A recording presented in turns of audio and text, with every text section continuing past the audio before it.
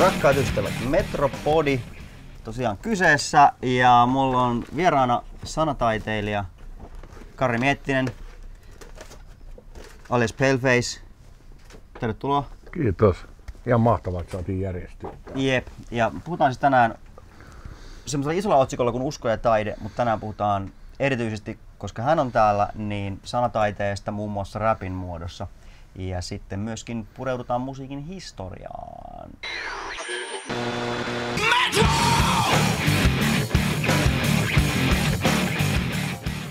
Kirjailija, muusikko, historioitsija, kulttuurin tuottaja, isä, aktivisti.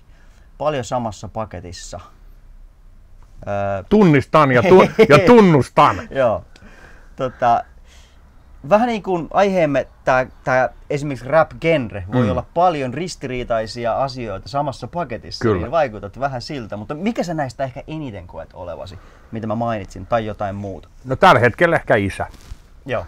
Kyllähän se on, niin kuin mulla on 10 ja 6-vuotiaat tyttäret ja tota, kyllähän se määrittelee tätä, Ai, ai, ai. tätä elämää. Että, Joo.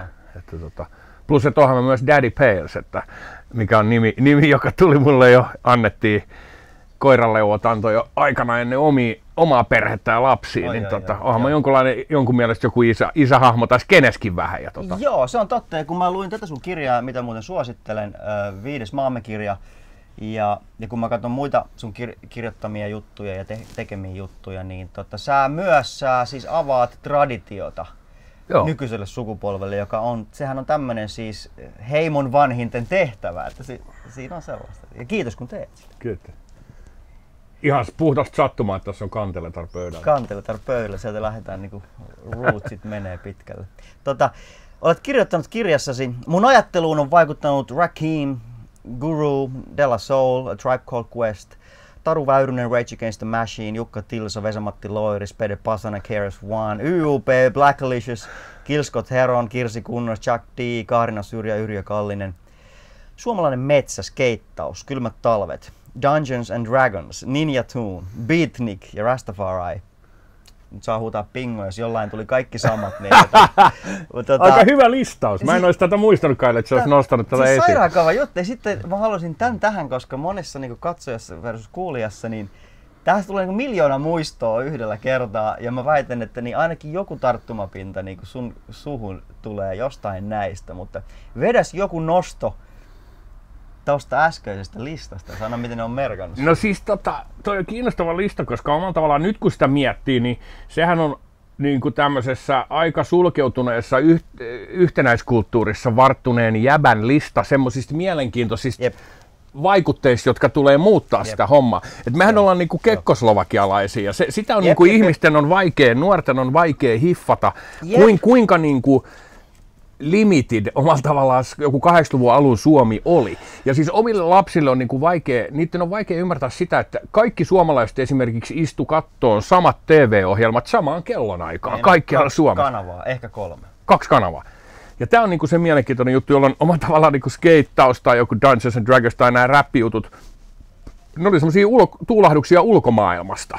Että oli tämmöinen totta. karvalakkimeininki Jep, täällä näin, tosi pitkä ja aika semmoinen niinku harmaa. Tietysti mä en elänyt niitä niinku 70-luvun tai enkä muista edes niin hyvin niitä 80-luvun al- alunkaan vuosia, mutta mm. että se yleinen vibe, me, me, elät, me elettiin sit siihen, niin kuin meidän nuoruus on se, että Berliinin muuri kaatui Jep. ja ikään kuin se vanha niin kuin so, jep. sodan jälkeinen niin kuin Neuvostoliitto tai Varsovan liitto vastaan NATO-asetelma rupesi murtumaan ja sillä tavalla. Ja niin kuin, et si- siitä se ehkä mulle kieli eniten. Ja niin kuin Spede Pasanen ja niin kuin Vesamatti Loiri juuri siksi, että kaikki suomalaiset, meidän ikäiset suomalaiset, meitä vanhemmat osaa ne sketsit. Ja ne on Niin kuin on. rakennettu tonne meidän Siis päähän ne ne on jutut. jossain syvällä. No. Joo, ja siis toi on kova, kun esimerkiksi mä muistan, kun mä mu- muutin alakoululaisena niin Hervannasta Pirkkalaa, Joo. niin tota, mä jouduin piirtämään mun luokkakaverille, mikä on skeitti, kun mä kerroin, että mä oon skeittari. Niin se kertoi, se oli siis maailma, missä tota niin, Mm. et se oli jännä, mutta sehän teki makeeta tosta niinku, vaikka Kalifornian jenkkikulttuurista, just kun itsellä Mm. surfi ja skeittaus, ja tää oli se kova homma, Joo. myöhemmin sitten rappi, niin tota, se kun se oli niin uutta ja sä niin kuin mainasit, siis sä niin kuin kaivoit sen esille jostain, joo, tiedätkö, niin kuin se piti kaivaa juu, juu. esille. Ha, et, et sä saanut mitään Trasher-lehtiä mistään, että ne oli niin kuin aika, varmaan jossain Stokkan lehtiosastolla joo, joo, joo, myytiin. mutsi toi Sokokselta oli käynyt kysyä, kun tuli töistä, ja mä sain varmaan kakkosta kolmosluokkalaisen ekan Trasherin. Ja sieltä aukesi se Joo. maailma, mä pukeutuu niin. Joo, joo. Ja, ja siis tää, mut niinku, et se oli se, siis se oli se ikkuna tyyliin, Juu, juu. tää, tää niinku Sokokselle tilattu Ja ja te- kaksi Trasheria. Niin. Eli itse asiassa toi, toi, toi lista on kuva siitä, mitä aika oli ennen internettiä, koska internethän omalla tavallaan muutti kaiken. Nyt kaiken Sehän voi on. saada heti, ja me voidaan katsoa, kun joku maailmantähti striimaa suoraan omasta keittiöstään jotain meille. Et se on muuttanut kyllä tosi paljon meidän tietoisuutta monella tavalla niin kuin parempaan suuntaan, mutta on se ongelmalliskin. Niin joo, ja sitten mä muistan myöhemmin, kun, kun musa, musatouhuissa, kun esimerkiksi Musanhan joutui treenaamaan niin, että vaikka tämä rumpuliikkeen, kun mä olin rumpali, niin sitähän mm. sitten ka- jo- jotain kasettia hidastettiin, että hei, miten toi soittaa. Niin nyt sitten, tai sitten niin kuin tuli joltain taivaskanavalta, Mm. tuli joku jats-ohjelma aina sunnuntaisin illalla. Mm. Niin mä niin kuin sieltä katoin näin jotain jatsia. Kyllä. Niin ja sitten piti yhtä- korvalla niin trial and error, että kaikki, ja scratchaaminen, Niin, sama jep. juttu, että me kuunneltiin, että mikä Joo. toi on, ja sitten me testattiin, ei ollut sellaista visuaalista kykyä niin kuin nähdä, tai Joo. mahdollisuutta Joo, nähdä. Niin. Joo. Ja sitten tota, ja sitten yhtäkkiä meni niin kuin joku 50 vuotta, niin ne on ne kaikki, siis tuolla YouTubessa on kaikki vitsi niin kuin 50-luvun, 40-luvun jatskeikkoja Mm. vaikka. Kaikki löytyy. Ja sitten niin kuin kaikki muun muassa. Ha- halusit se Philly Joe Jonesia tai Jep. Elvin Jonesia Jep, tai on Tony siellä. Williamsia, ne kaikki löytyy Joo, ja mulla sieltä. tuli ihan Mm. sellainen fiilis aikanaan, että hei, niin kuin, pitäkää tunkkiin, että mä, mä en enää lähettää. Että, tämä on ihan Joo. epäreilua, että to, toiset saa lähteä 10 metriä aikaisemmin, tiedätkö? Ei, mutta joo, ja se, se tarkoittaa, että se skillikin on ihan eri leveliä näillä nuorilla. Paitsi Mm. sitten siinä on se, se, siinä on se mutta siis siinä on tämä runsauden pula. Niin totta. Et sitten kun on liikaa matskua, Mm. niin ketä sit lopulta ne on muutamat vaan, jotka haluaa lähteä niin kuin tutustumaan. Se voi hyvin olla näin. Mutta että joku tämmöinen syvällisempi läppä, niin kuten sanoit, niin mä dikkaan historiasta, niin jos, jostain jäi kiinni, kun mä lu, luin jossain tätä Eufrat-Tigris-kulttuuria tai vanhan kulttu, vanhojen kulttuurien leviämistä ja kansojen leviämistä ja sivilisaation kehittymistä, niin siellä mainittiin tällainen juttu, että paljon on opittu silloin, kun esimerkiksi sodista on jäänyt sotavankeja. Sitten on nähty, että niillä on ollut tiettyjä taitoja, Joo. mitä meillä ei ole. Sitten me ollaan katsottu, että tsika, mitä tuo jätkä. Joo. Että esimerkiksi joku pronssin sulattaminen, tämmöinen on ilmeisesti niin kuin lähtenyt leviä sitä kautta, että ollaan otettu, niin kuin, saatu vihollisheimosta joku kirkko, että okei, toi jääpä osata. Ja sehän on se, että sä näet silmillä, miten joku tehdään. Että se, et se on ihan eri asia ottaa keittokirjaa ja yrittää räpetä jotain, mm. tai että sun isoäiti opettaa, että miten niin kuin mm. karjalanpiirakoit duunataan, niin mm. tämähän on niin kuin se, että silloin mm. sivilisaatio on kehittynyt ja hy, hy, niin kuin harppauksin mm. eteenpäin, kun mm. pystytty näkemään asioita, mitä Jep. toinen tekee. Niin se on varmaan just tämän YouTuben semmoinen yksi, yksi iso niin kuin merkitys tulee olemaan. Et sen takia niin kuin, junnut pystyy, niin kuin, katsot vaikka nyt nuoren polven scratchaajia tai turntablisteja, niin sehän on niin kuin aivan eri levelillä kuin mihin omalla tavallaan me kyettiin. Mutta tietysti treenaamisella niin kuin pääsee kuka tahansa niin kuin korkeaseen Joo, tasoon, mutta tota, joo, se on totta joo. ja Nä, näkyy monessa, monessa niin kuin vaikkapa alakulttuurin lajissa. No toki skeittaus ei ole enää alakulttuuri, kun se oli just olympialaisissa, mutta esimerkiksi siinä näkee Joo, tason, tason mikä. Mutta onhan tämä niinku uskomaton silleen, että on listakin valos. Et meillä, meillä oli niinku kuusnepat, Mm. niinku isoja pikseleitä. Mm. Niin kun sä ajattelet sitä, ja nyt, nyt kun sä katsot niinku pleikkaripelejä, ne on niinku fotorealistisia, niinku lähes elokuvamaisia.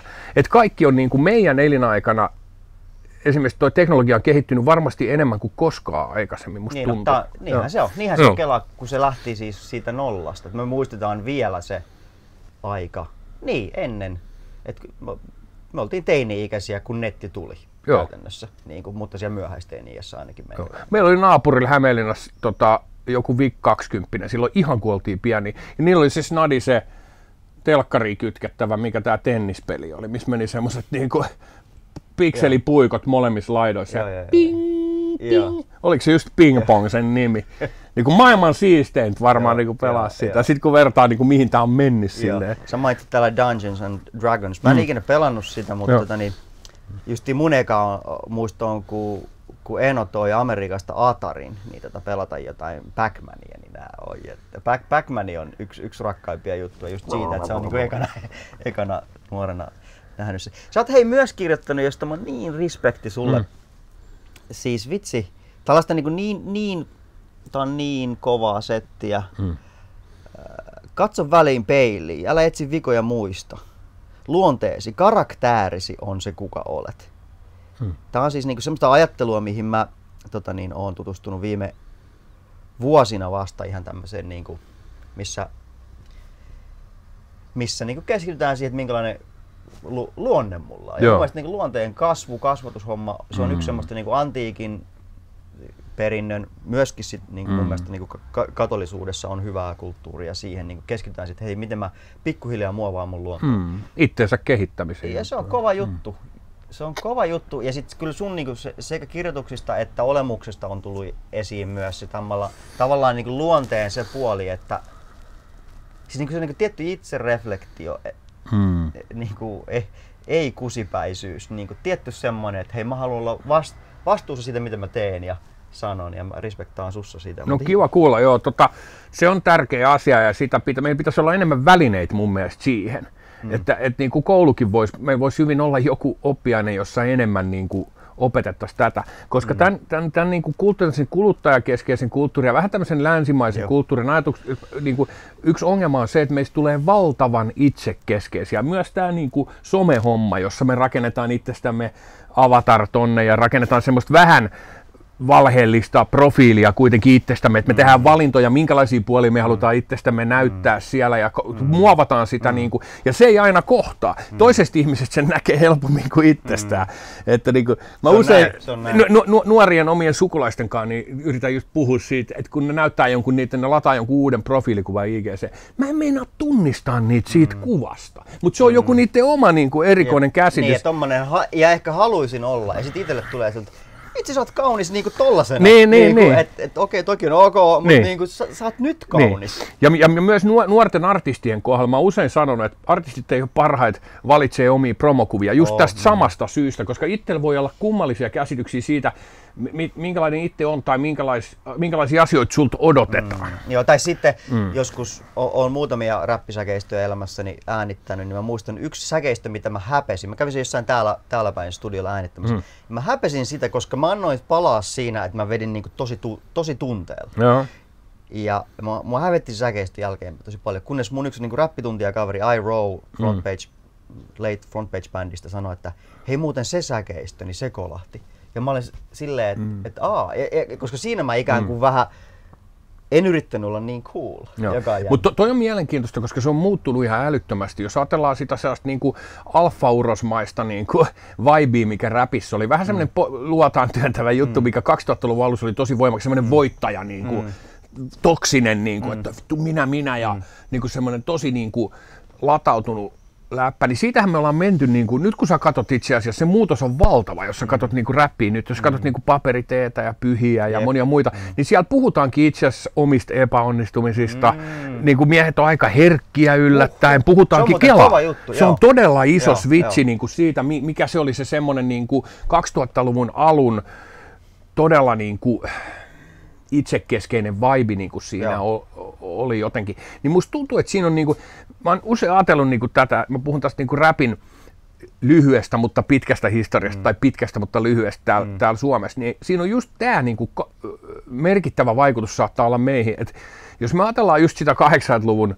niin kuin, suomalaista identiteettiä, mm. niin silloin oli just tämä, ja perinteisesti on ollut tämä niin kuin, tämmöinen niin kuin vaatimattomuus. Mm. Siis on niin kuin se hy- hyvää vaatimattomuutta, mutta myös semmoista turhaa nöyryyttä, että meillä on ollut vaikea olla ylpeitä mm. omista mm. taidoista. Niin. Semmoinen, niin kuin se, se, tiedätkö mitä tarkoitan? Koska se, voi myös, se on myös ollut häpeä. Niin, nimenomaan. ihan perseen. Joo, todella se huono. Semmoinen niin kuin ylisukupolvinen juttu, että Joo. ei saa lesoa liikaa. Eli omalla tavallaan sit musta tuntuu, että tämä tämä räppi on saattanut tuoda semmoisen niin kuin oman arvon tunnon myös jollekin mm. ja osoittaa, että hei, mm. että jos sä oot hyvä tos, niin sä pystyt mm. Myöskin sen näyttää. Se voi olla mm. hyvä, siinä voi mennä ylikin tietysti, mm. mutta musta tuntuu, että se on pitkässä juoksussa niin kuin hyvä mm. asia. Ja Kyllä. toinen on tämä, että ei tarvikaan olla voittaja ja kovis, Mm. Vaan itse asiassa kaikkein herkin jätkä on kaikkein kovin jätkä. Mm. Niin kuin nyt kun sä katot niin kuin sitä, mitä, mitä sieltä räpistä, minkälaisia viestejä sieltä voi tulla.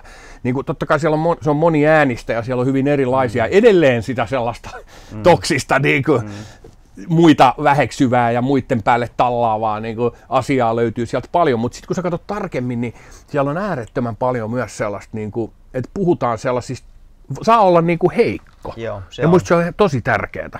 Se on sairaan kova juttu. Ja yksi mistä mä kun yhdessä lähiössä täällä Uudenmaan alueella käyn aika usein vapaapäivinä ja, ja kattelen siellä joskus semmoisia vähän mua nuorempia äijiä, ketä kävelee vastaan. Ja sitten kun mä niin näen ulospäin, miten ne kuuntelee ja miten ne polttelee mm. ja niin kuin näkee aika monta asiaa ja mm. joistain näkee myös sen, että niin kuin kaikki ei ole ihan niin kuin hyvin. Mm. Ja, ja sairas niin kuin suru siitä. Niin tota, Mm. et, et, et, toivottavasti tuolla tämän päivän lähiössä olisi niinku toivoa. No sanotaanko nyt näin, Mm. että ainakin osassa räpistä on tällaista katarttista touhua, missä niinku sit saa just suoltaa sitä, sitä Mm. niinku, kun asiat ei tunnu menevän niin hyvin, joka on jo puoli vastausta ongelmaan. Ei Kyllä se, se on- koko vastaus. se on terapeuttinen- niin, se on se on terapeuttista, Mm. joka sitten niinku voi estää pa- parhaassa tapauksessa niinku vetämästä itseensä jojoon. Kyllä. Että, ja, et sen takia näitä esikuvia ja, ja, ja sanottajia. Sehän on runoilijan tehtävä. Mm. Mm. Siis sanottaa jotain, mitä me kaikki tunnetaan. Tunteita, niin, just näin. mitä kaikki tunnetaan, mutta kaikki ei osaa sanottaa sitä. Kyllä, ja sitten kyllä. tulee y- yllättävästi niin kuin monien kokemus. Just näin. Se on kaikkien kokemus, mutta yksi osa sanoa sitä. Joo, ja se on todella strongi, että niin kuin, mulla on jotakin sellaisia biisejä itsellä omassa ohjelmistossa, jotka niin kuin aiheuttaa sellaisen todella voimakkaan reaktion niin kuin livenä silleen. Joo. Ja sitten ihmiset saattaa itkeä ja niin kuin se on tosi voimakas. Ja sitten se on kuitenkin sellaista niin kuin hyvää itkua tai sellaista, Joo. että vaikka siellä on surua tai aggressiotakin siellä Mm, mm. lyrikoissa, niin sitten se on kuitenkin joku semmoinen, se avaa jotain Kyllä, ja niin kyllä. kuin tuntuu, niin kuin, tuntuu paremmalta sen jälkeen. Joo, joo, ja sitten tietysti voidaan tulla jos, jo, joskus siihen, että kyllä me taiteen kanssa, kun me ollaan tekemisissä, niin mä, elän, mä oon sen verran idealisti ja unelmoija, että kyllä mä näen, että me joskus käsittelemme myös jotain itseämme ja sitä lauluamme isompaa. No ilman et, muuta. et, et, kyllä niinku taiteen mukana läsnä saattaa joskus olla jotain. Että siinä tapaht, voi tapahtua isoja asioita. Juu, juu, ja ne voi olla liittyä tämmöisiin niinku traumoihin. Että kyllä, kyllä niinku ihan selkeästi meillä on joku kollektiivinen psyyke kanssa ihmisinä. Niinku. Mm. Että me kannetaan jotain semmoista yhteistä. Sitähän se kulttuuri osittain on. Että jos mä räppään jotain isä meidän rukousta siellä mm. niinku biisissä katkelman, mm. niin kyllä se niinku Jep. ihmiset havahtuu siihen, koska se on semmoinen yhteinen, minkä Kyllä. kaikki jakaa. Kyllä. Niin kuin, ja tää on, niin kuin, siellä on jotain sellaista taakkaakin omalla tavallaan. Mm. Sitten kun mennään tuonne niin kuin sotiin ja just tähän niin kuin, mm, yksi iso ongelma, mistä me kaikki ollaan varmaan kärsitty ja toisaalta niin kuin, tunnistetaan se myös se sellainen niin kuin, suomalainen mieskulttuuri, semmoinen vaikenemisen kulttuuri ja jep. miehet ei itke joo, ja semmoinen vaikeus sanottaa omia tunteita, että sehän tulee sieltä sotakokemuksista tulee ja sieltä, muista, niin, muusta, joo, että joo, ei. meidän isoisät ei voinut sanoa sitä suoraan, että tuntuu pahalta ja on niin kuin hirveitä juttuja, että suljettujen ovien takan niitä käytiin läpi sitten ja toiset meni hautaan niiden asioiden kanssa. Ja sitten kun ajatellaan sitä toisen maailmansodan kokemusta, mikä heijastuu meihin, mm. niin sitten niillä oli, ne on vielä, niiden vanhemmat on kokenut sisällissodan. Mm. Kelaa. Et mun, mun toinen isoisä Pentti syntyi 18 Sortavalla, kun siellä oli kähinöitä. Et omalla tavallaan se on niin kuin noin lähellä myös. Ja ne on niin kuin oikeasti vaiettuja asioita sillä tavalla, niin kuin mitä siihen liittyy. Tämä on, niin kuin, tää on joukkohautojen maa. Ne asiat on tossa, mutta niitä ei ole koskaan meille opetettu ja niistä ei ole puhuttu suoraan meille. Et kyllä ne siellä historiankirjoissa on ollut, mutta ne on sivuutettu vähän sillä. En mä tiedä, mitä sä muistat jostain Suomen sisällissodasta niin kuin Niin, koulusta. sä, sä kirjoitit tuossa kirjassa, että siitä ei puhuttu mitään. Kyllä siitä minä jotain en puhuttiin. tiedä, puhuttiinko, mutta en minä sitä tiennyt mitään, mm, niin kuin, mm. koska peruskoulu meni muutenkin sumussa. Teini-ikä meni sumussa. Joo. Mutta siis se, että mä olin joku 22, 23, kun yksi frendi rupesi opettaa mulle, miten politiikka toimii. Mm. Mm. Mulla silloin avaa niitä. Myöhemmin Joo, joo. kävi ilmi se, että, tota, että siis mun isähän oli niinku punaisesta talosta ja Just. äiti oli, oli kahdeksan kilsan päässä valkoisesta talosta. Noniin. Ja se oli ollut kuulemma aika kova juttu, että No niinku semmoinen ukko, ukko tulee tuolta niinku niin kuin väärältä Niin, puolelta. piene- ikään kuin. ja sitten se, sit se, sit se splittasi myös perheitä. Mm. Että ihmisen, se ei ollut mitenkään ideologisesti selkeä. Niin kuin nyt halu, ihmiset haluaisi, tämä on polarisaation aika ja me ollaan, meillä on niin kuin, me haluttaisiin jakaa kaikki selkeästi näin, Jep. hyvä ja paha ja toi Joo. on tuossa ja vasen ja oikein, mutta ei se ole niin, koska Jep. se oli hirveän sekava se tilanne sisällissodan aikana. Ihmisen asuinpaikka määritteli, minne puolelle se päätyi.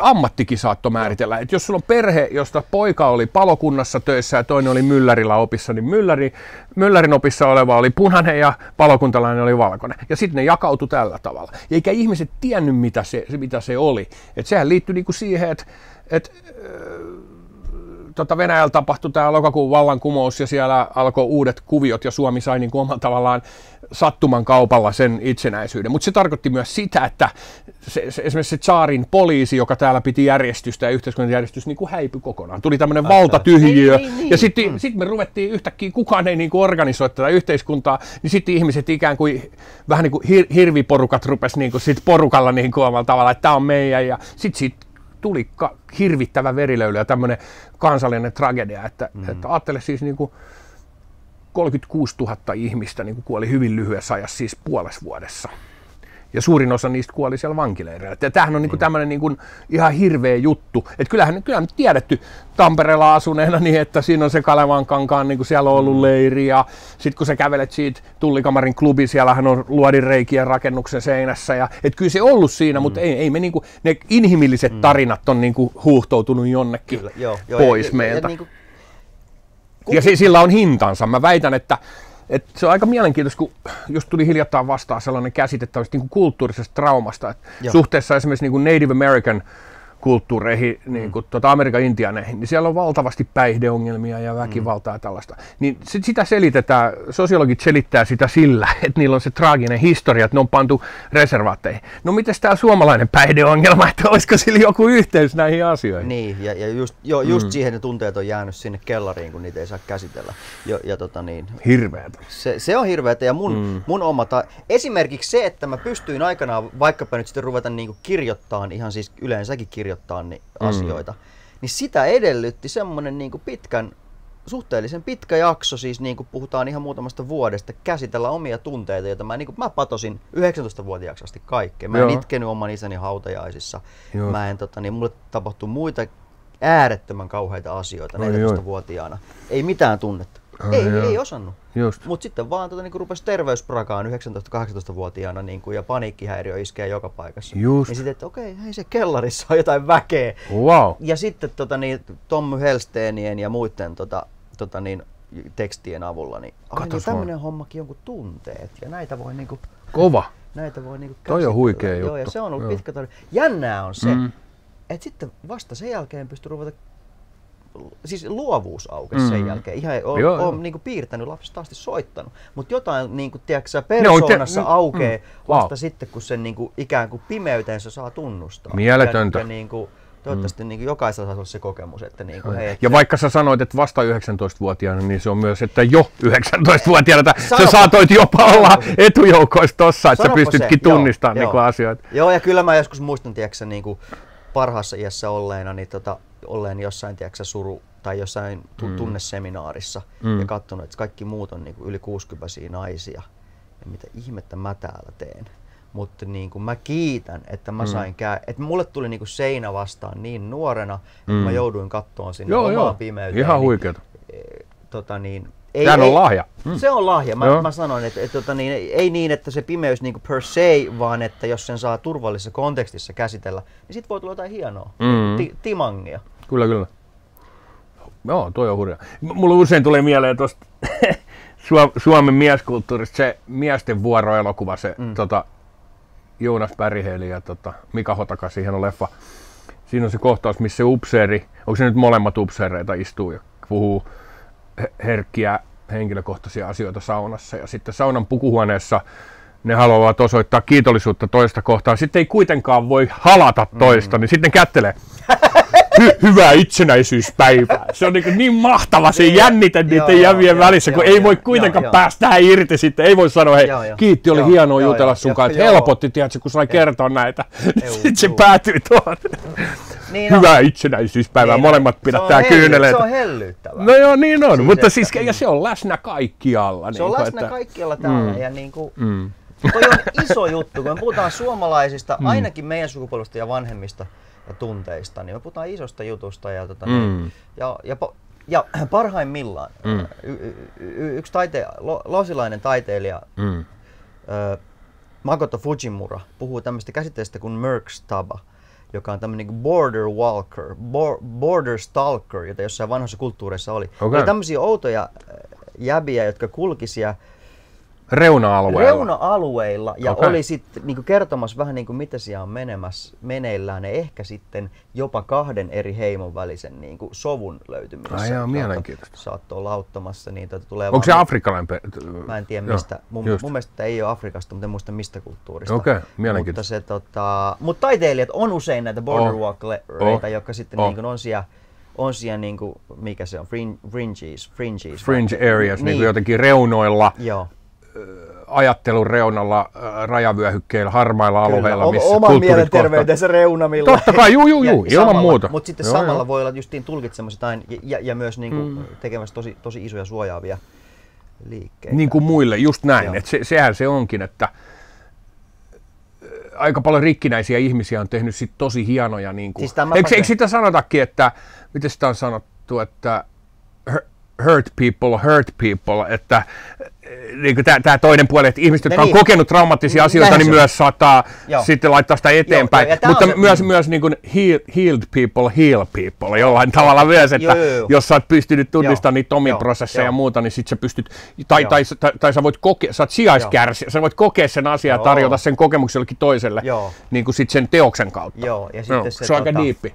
Ja yleensäkin tosiaan, että meidän, meidän sisältämämme pimeys, ja tämä aika tarvitsisi niin kuin mun mielestä sen tajuamista, just missä Torsti Lehtinen paljon puhuu, Mm. että niin kuin pahuuden ja hyvyyden rintamalinja kulkee ei meidän välitse, mm. vaan meidän Sisällä, lävitse. juu, juu, just näin. Ei Toi on muuten hienosti vaan sanottu. lävitse. Et se, et se pimeys on mussa ja se sama pimeys voi tulla tuomaan hedelmänä lahjaa, Juu. tai se voi olla ihan hirveä asia muille. Juu, ja, juu. niin, ja, ja se on minussa. Totta ja kai. se on raju juttu. Se on ja, mi- sitä mm. ja sitten sit tietysti mielestä on, on tämä karaktääriin keskittyminen, että me ei ulkosteta kaikkea, okei rakenteisiin pitää koskea, Mm. mutta täällä on myös sellainen toimija nimeltä Homo Ja sapiens, ei kyllä, ainoastaan Se on näin. Se on just näin. Ja toi, toi on niinku todella mielenkiintoinen justi, että mit, mitä sieltä niinku, siitä p- kemiallista prosessista tulee niinku ulos. että mikä se sun omien kokemusten, että syljeksä tuleeko sieltä sitä mustaa mm. myrkkyä, niinku, mitä sä pistät eteenpäin muille, mm. vai muuttuuko se myrkky joksikin, Mm, mm. mitä me voidaan it- jakaa yhdessä ja mikä ei Joo, enää ole niin. myrkyllistä. Mm. Joo, josta Mm. tullaan, niin kuin, vitsi tästä voisi mennä syvälle, siis, siis Mm. mm. farmasiahan, Derridahan koski tähän Platonin tämmöiseen, mm. tähän tota, metafora-käsitteeseen. Platonilla oli ilmeisesti ongelma, että farmakos-sana on sekä myrkky että Joo, lääke. kyllä, kyllä. Derridas ilmeisesti jotenkin sanoi, että mikä ongelma se on, että se on sekä myrkky että lääke, niin Mm. mm. kieli on Niin. metaforista, mutta se on myöskin farmakos on sijaisuhri, josta sitten taas niinku voi vetää ihan sellaisia niinku wow, Toi on mielenkiintoista, tota mä en tiennytkään. Mä hiffasin ton kyllä sen. Ja näinhän se on, että mm. et ei pelkästään vaikka päihteet et ole selvästi sekä myrkkyä, että, Joo, mutta että. Eh, kaikki oikeastaan, että niin ja kuin, si- toi- niin kuin mm, ihminen jep. voi, ja se on niin kuin just tuossa to, tuossa niin kuin Jep. suuri viisaus ja semmoinen Jep. mieletön, niin kuin, tota, voi, tota voi meditoida oikeasti huolella, To- tota, tota asiaa, se liittyy ihan Joo, kaikkeen. ja se on jo antiikin viisaus, mikä me ollaan unohdettu, koska me keskitytään niin kuin, että mikä on oikein, mikä on väärin, mikä on mustaa, mikä on valkoista. Mm. Mutta antiikissa, ja anteeksi vaan, tämä voi loukata joitakin, mutta myös katolisessa ajattelussa se yhä elää, että tajutaan, että ei mikään ole per se pahaa, mm. vaan ne on niinku semmoisia niinku sins of excess, Mm. vaan että, niinku, että kaikki on tietyssä mielessä hyvää menee över, oikeassa niin, kyllä, kyllä. Juu, juu. määrässä. Näinhän siis sitten taas vanhoissa kulttuureissa, Aasi- Aasiassa on se ajatus siis siitä, että hyvässä on pahan siemen ja pahassa on hyvä mm. siemen. Ja tähän, sitähän mm. se yin-yang-symbolin mm.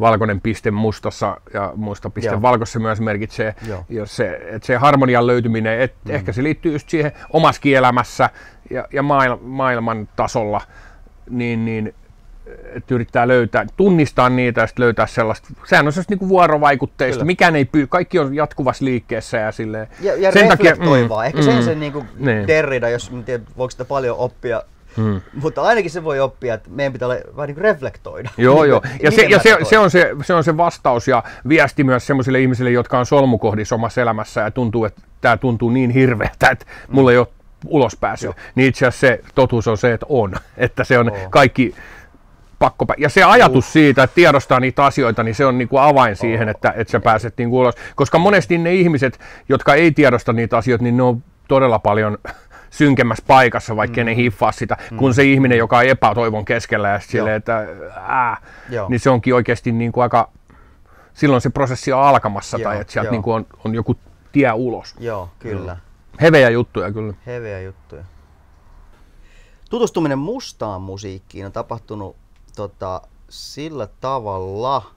MTV, MTVltä tuli räppiä. Joo. Saatat muistaa, jos, jos teille tuli MTV Ysärin alussa ja Kasarin lopussa. Mä muistan Ysärin alusta, kun siellä oli sellaisia niin kuin, laatikkoletti niin Kyllä, kyllä. tyyppejä, jotka veti sellaista niin musaa, missä ei, ei ollut musaa. High top fade. Ju, Ja. ju, juuri Ja. näin. I- Musa, jos ei ollut musaa, vaan puhetta. Ja se oli outoa. Mä en tykännyt sitä aluksi. En todellakaan. Et, et sitten se rupesi aukenee vasta vähän myöhemmin. Pitä tulla ensiksi vähän niin kuin semmoista, no tietysti tuli suomi-räppi jossain vaiheessa ja meidän... Niin, Siis- Raptori siis- siis Päkkäset. Joo. juttu, niin, niin, niin. Me, meidän eka bändi laitettiin, tota niin, oli, oli tällaista niin Raptori-juttua. Se lähti siitä, kunnes se sitten siitä muovautui. Mikä sen nimi oli, sen teidän suomen kielellä? RAP. No niinpä tietenkin. Tarkoittiko se jotain, oliko se niin kuin se, se R, tarkoitti, ja se kertoo, me päästään tähän gospeliin, eli me keksittiin, että sehän tarkoittaa risti ainoa pelastus. Eli Oi, oi, oi, oi, oi, oi, nyt on kovaa et, tota, se oli niinku s- syvällä pelissä alusta asti. Yes. Ja tota, huomaa, että se, seurakunnalla treenattiin. Ja tota, toi, mut sitten äh, fast forward, niin tota, Helsingissä tutustuin aikanaan joskus 94 about tota, niin yhdessä kristillisessä tapahtumassa niin kolme hopparia tuli meidän kolmen tamperelaisen hopparin luokse. Ja hei, siisti nähdä uskovia homies, ja ne oli Zebralistics. Yes. Ja, ja silloin tutust- Max, maximum respect ja silloin tota, niin, ne oli tällais, tä, tällaisia niin kuin, kri, kristillisen nuorisokulttuurin piirissä kanssa. Ja, ja tota, samaan aikaan tosiaan Tampereella tapahtui räppi oli syntymässä. Me laitettiin semmoinen bändi sit pystyyn meidän grunge- ja punk-vaiheiden jälkeen kuin Alex Street Band, jossa me ajateltiin, että me haluttaisiin olla niinku tämmöisen fuusio jazz funk homman ja sitten jotenkin niinku tämmöisen roots hip hop tyyppisen jutun niin kuin välimaastossa, mutta meillä ei ollut MCtä eli räppäriä, eli Mm. me ikään kuin soitettiin instrumentaalimusaa. Just. Niin kuin tällä ei, ei, ei, ei, ei musaopistopohjalta, vaan siis niin kuin, tämmöiseltä niin kuin grunge-pohjalta. Joo, me joo. ruvettiin opettelemaan niin kuin rod, rodeseja ja ku, kuuntelemaan niin kuin, Groove-musaa. niin, Mm. tämmöistä groove-musaa niin kuin itse. Tot- Trumpetisti oli, oli käynyt opistonsa, mutta toi näin syntyi Alex Street Band ja muun muassa tämän Cipralisticsin jäseniä oli aikanaan sitten meidän levyllä. Me tehtiin sitä ennen pohjia joillekin tamperelaisille räppäreille ja tota, sillä tavalla sitten täm, tämmöinen rap-musa on ollut niin osa, osa omaa historiaa skeitti- ja, ja, ja hip-hop-kulttuurin kautta aikanaan. Mutta Tunnistan ton, me oltiin osa sitä samaa tota niin kuin, muotoutuvaa s- suomi-räpin karttaa 90-luvulla aikana ennen internettiä jälleen Jepa. kerran, jossa niin kuin kuuli, että hei, tuolla Säynätsalossa on yksi jäbä, joka räppää, Joo. tai, tai Tampereella on Nuera ja Frontpage. Joo, ja, ja, ja ihan muuta. näin. Se oli, niinku, se oli pieni skene, Kyllä. joka oli niin, oli niinku, ma- niin siis se oli makeeta, koska siinä oli se semmoinen niinku löytöretkeily. To- toki varmaan nuorella on aina se fiilis, Mm. että jotain uutta tapahtuu ja jotain muuta, mutta ainakin meillä oli semmoinen, että hei, tässä niinku koko ajan niinku keksitään uutta, Joo, luodaan. joo, siis, siis me laitettiin, kun me tehtiin 97 hoax yhtyeen kanssa kasetti, me laitettiin se myyntiin rumban pikkuilmoituksia palstalle. Mä asuin siis himassa luonnollisesti Joo. siihen aikaan. Niin muun muassa räppäri Juhani soitti mulle, kun siinä oli mun nume, hima-numero, mutsi ja fajan numero, niin soitti sinne. En, en muista vastasko mutsi, että täällä joku sua kyselee. Niin se oli silleen, joo, että mä, oon- mä haluan tämän kasetin, että mä, til, mä tilaan tän. Että. Oi, niin Sit sä se- teit silloin, silloin jo. Joo, me tehtiin 97, tehtiin nauha, kasettinauha Hoax. All slang is metaphor and metaphor is poetry oli sen tota, nauhan No joo. Siinä oli myös tämmöinen jats-vibe, että me tehtiin, Joo. Ilmaverran Tuomas oli pianisti, sitten oli Salmisen Jaska ja, ja tota noin, hämeenalaisia kundeja, jotka oli kiinnostunut just mustasta musasta. Hyvin samanhenkistä. Okay. Et meitä vaikutti, meihin vaikutti myös sit se niinku britti acid jazz ja ehkä jamirokua ja joo. toi mut oli selkeästi niinku roots. Guru, gurus, gurus Jazz Tää ykkönen ja kakkonen oli ne levyt, mitkä meihin niinku vaikutti ehkä eniten. Ja just se sellainen, sit Tribe Called Questilla oli soul, jut, tota, ö, niinku soul funkin lisäksi niinku myös jatsi-sampleja ja mm. mullekin niinku räppi on ollut semmoinen ikkuna jotenkin Yeah. musiikin historiaan ja kyllä. genreihin. Joo, Mm. joo, ja niin kuin sulle aikaisemmin sanoin, niin mulle niin kuin räpistä aukesi niin kuin jatsiin. Et se lähti niin kuin tosiaan niin päin. Niin kuin se voi olla tietysti monella nykyäänkin. Toki mä en tiedä, onko ihan uudessa räpissä. Niin, Ja Jaba on siis rumpali. Mä oon rumpali, Joo. joo. Et, tota, joo, mutta Hei, sä oot mu- musiikkihistorioitsija, nekrospirituaalit, eli musta gospel. Joo. Mikä oli sen rooli popmusiikin historiassa, osaatko sanoa? Tähän myöskin tota niin, tämmöiseen gospel-hommaan, mustaan gospeliin, niin liittyy tämmöinen 60-luvun vallankumouksellisuus, tai, tai ne liittyy vähän ainakin. Kansalaisoikeustaistelu, niin, tota, joo, tosi voimakkaasti. Sano jotain tosta. No siis, siis kaikki musta musa, oli se sitten R&Btä tai Kanye tai ihan mitä vaan, räppiä, mm, soulia, funkia, jatsia, niin se pohjautuu kahteen asiaan. Se, se, se pohjautuu mustaan, bluesiin ja gospeliin. Ja tämä on siis, tämähän on iso äh, niin kuin oivallus ollut itselle junnuna, kun on ensin diggaillut ne Dela Soulit ja Public Enemyt ja muuta. Ja sitten jossain vaiheessa on tajunnut, itse asiassa mulle saattoi olla 91, kun tuli Hazy Shade of Criminal, tämä tota, Public Enemyn maxi single, niin siinähän on semmoinen lynkkauskuva kannessa, semmoinen hirveä kuva, missä on siis hirtettyjä ihmisiä roikkuu puusta, ja siinä tota, alla on valkoinen väkijoukko, Joo. tota, kokoontuneena, osa niistä tuijottaa uhmakkaasti sen kamera, niin se, se oli niin kuin pysäyttävä, koska siinä niin kuin mä hiffasin, että just joo, että mikä tämä niin kuin mustien asema Aivan. on silloin ollut, ja sitten mä niin kuin pääsin siihen kiinni, että miten ne ihmiset on joutunut sinne Amerikkaan. Ori, transatlanttinen orjakauppa. Ja se hirveys siinä, että miljoonia ihmisiä vietiin Länsi-Afrikasta ja puolet niistä kuoli matkalla. Et siis se on niinku ihan käsittämätön kärsimys. Ja tämä on niinku se, että, että ne oli valtavan uskonnollista väkeä ja siihen liittyi niinku se, että että perheet hajotettiin ja se niin kuin heidän oma kulttuurinsa pyrittiin kitkemään pois. He olivat valtavan musikaalista ja uskonnollista väkeä ja sitten ikään kuin siitä, siitä syntyi se, se, ne ylistyslaulut ikään kuin oli se tapa, jolla ne, yhte, jolla ne yritti hiilaa niitä juttuja. Ja, ja niitäkin yritettiin sitten tietysti Tota, tässä on monta niin kuin, tasoa, mutta, mutta tota, kiinnostavaa, niin kuin, että se, se, oli myös monikulttuurinen se musta, mustakulttuuri jatsin synty, kuten tiedät, niin New Orleansissa oli paljon niin kuin, ranskalaista, ö, ranskalaisia vaikutteita, Portugalia, siellä on, Jama, siellä on niin kuin, Länsi-Intiasta väkeä, siellä on eri, niin kuin, niin siellä se on niin. niin kuin, siellä on todella paljon, niin kuin, ne sekoittu kyllä voimakkaasti, mm. mutta niin kuin, oleellista on, kun katsot mitä tahansa mustaa musaa, moderni mustaa musaa, niin se, se, se purkautuu sinne puuvilapelloille, bluesiin, josta tulee myös se räpin niin kuin, tarinankerronta, woke up in the morning, ja kerrotaan mm, ne storit. Se on niin kuin, minä muodossa tapahtuvaa havainnointia maailmasta, ja se on mitä räppi on. Totta, se gospelin sto- storytelling. Totta. Ja sitten, si- tai äh, bluesin storytelling. Ja gospelista selkein öö, jäänne räpissä on se vuorovaikutteisuus. Throw your hands in the air. Mm. Niin kuin, se on se can I get a witness. Se on niin kuin se räppäri, on se, totta. räppäri on se seurakunnan pastori Se on näin ja, muuten. ja Totta. yleisö on seurakunta. Toi on ihan selvä. Yeah. Nyt Somebody say yeah. Joo. Ja, ja näin edelleen. Se on, si- se on sieltä hyvin voimakkaasti ja tämä niinku yleisön ja räppärin välinen Joo. dynamiikka. Niin nämä on niinku ne selkeät, selkeät jutut, mutta go- gospel, on, gospel ja blues on niinku pohjaa siihen, että siitä niinku omalla tavallaan lähti kehittyy sitten kaikki musa. Sitten kun sä katsot niinku spirituaalista jatsia tai, tai tota, sitten soulia ja funkia, niin kyllä se niinku musta gospel on, on tosi voimakkaasti siinä musiikillisesti niissä sovituksissa läsnä. Se mitä James Brown teki, ha, niin, kuin se, totta. niin sehän on omalla tavallaan vaan pidemmälle. Ja siis itse asiassa Ray Charles hyvin niin kuin konkreettisella tavalla rupesi kirjoittaa maallisista aiheista gospelbiisejä. Jos sä kuuntelet ne Ray Charlesin biisejä, ne on, ne on gospelbiisejä. Ja se, siitä tuli rhythm and blues oikeastaan. Sille Kelaa. piti vaan antaa uusi nimi. Joo. Ne oli gospelbiisejä. Siis bi- kaikki rock'n'rollin varhaiset jutut, esimerkiksi Si- Sister Rosetta Tharpe tai, tai, tota, tai Big Mama Thornton, Joo. You ain't nothing but a hound dog. Ne, ne on, ne on gospel-biisejä.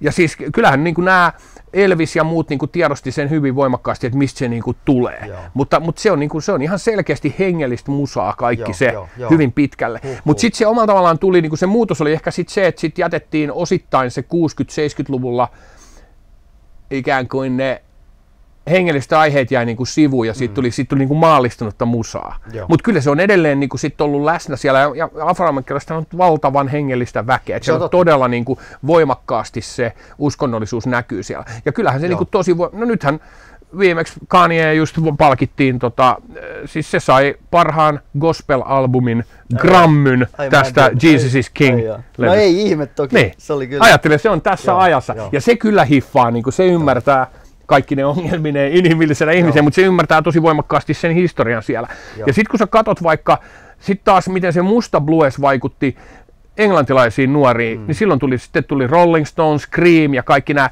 Ja Rolling Stonesin joku, tiedätkö, This Time, niin sehän on, tiedätkö, Staples Singersin vanha gospel-biisi. Että kyllä Älä. sekin niin kuin näkyy siellä voimakkaasti. Joo. Ja sitten kaikki länsimainen rock on taas, niin kuin, tulee taas siitä niin kuin Beatles, Cream, niin kuin, niin kuin Procol Harum, tiedätkö, nämä, Joo. tiedätkö, niin kuin, ja niin kuin jos, jos, jos kuuntelet vaikka jotain Procol Harumin Wider Shade of Pale tai muuta, niin nehän sitten tutki myös klasarimusaa, barokkimusaa, mutta niin. ne kuunteli niin kuin hengellistä musaa. Se, miten Joo. joku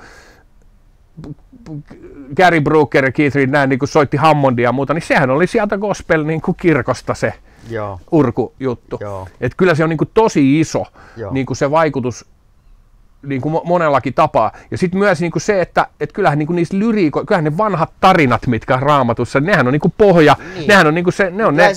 yhteiskunnan historia. Niin, jotenkin. Ne on ne arkaiset tarinat. Et mä oon nyt viime aikoina tutkinut niitä työväenlauluja, esimerkiksi Amerikan suomalaisia työväenlauluja, ne on kaikki vanhoja virsiä, mitä Joe Hill ja nämä niin kirjoittaja laulo uh, Industrial Workers of the World, tota, eli tuplajuulaiset Amerikan suomalaiset oli tämmöisessä radikaalisessa työväenliikkeessä mukana. Ne kaikki ne vanhat biisit oli virsiä. Älä. Mutta se johtui siitä, että se oli sen ajan populaarimusiikki. Jos olit 1900-luvun alussa työläinen, työläisnuori Chicagossa, niin sä olit tekemisissä pelastusarmeijan kanssa. Pelastusarmeijan laulaa pelastusarmeijan lauluja. Ne oli ne, bi- ne, oli ne joukkolaulut, että mitä ihmiset la- osas melodioita. Mm. Niin sitten vaan otti ne tutut melodiat mm. ja kirjoitti niihin uudet Joo, säkeet. Tuossa tullaan siihen, niin kun mähän on siis helluntai, helluntai pastori tämmöisestä niin kuin va, vähän vastarinta hengellisyysliikkeestä ainakin niin kuin perinteisesti, jolla on hillitön sukulaisuus siis pelastusarmeijaa, jonka mainitsit, jota usein nykyajan helluntailaiset ei tajua. Joo. Elikkä, ja siis pelastusarmeijahan on ollut siis niin kuin, äh, sukupuolisen tasa-arvon liike. Siis, siis, koska siinä tajuttiin se sama, mikä on esimerkiksi helluntalaisuuden DNAssa, on se, että, että, tota niin, että meillähän, meillä ei ole ka- kirkkokansaa ja papistoa, mm. vaan meillä on kaikki on vaan siskoja ja veljiä. Just. Esimerkiksi meidän kirkkosalissa, mä pidän joskus lukiolaiselle tuntia siellä, mm. siellä on iso lava. Siellä ei, ja se ei ole niin kuin, siinä voi olla kaikki. Kuka tahansa kir, kirkossa ja voi olla osa kuoroa, ja se on iso Just. kuoro, ja kuka tahansa sisko tai veli voi tulla niin kuin tes, antaa testimonia sinne. Joo. Ja tämä on niin kuin, meidän historiassa on tämä tämmöinen, että, että ei ole papistoa ja kirkkokansaa, Joo. vaan on vaan sisko ja veli. Ja joillakin voi olla se armoitettu puhe. Hyvä, se on se yksi sähköasentaja, on niin kuin hyvä puhua. Josta tullaan taas siihen, että siis helluntai-liikehän veti niitä aika paljon ja moi, joissain kylissä siis niin kuin vallan mm. niitä, jotka ei pystynyt valitettavasti ki- menneisyyden kipujen takia meneen kirkkoon. Just. Sisällissodan takia. Kyllä. Eli niin kuin si- siitä muodostuu aika usein niin kuin työläisseurakunta. Tietysti meillä Tampereella, meidän Tampereellahan kävi sitten taas niin, että me tajuttiin, koska se sota oli ollut tosi verinen ja mm. kipeä siellä.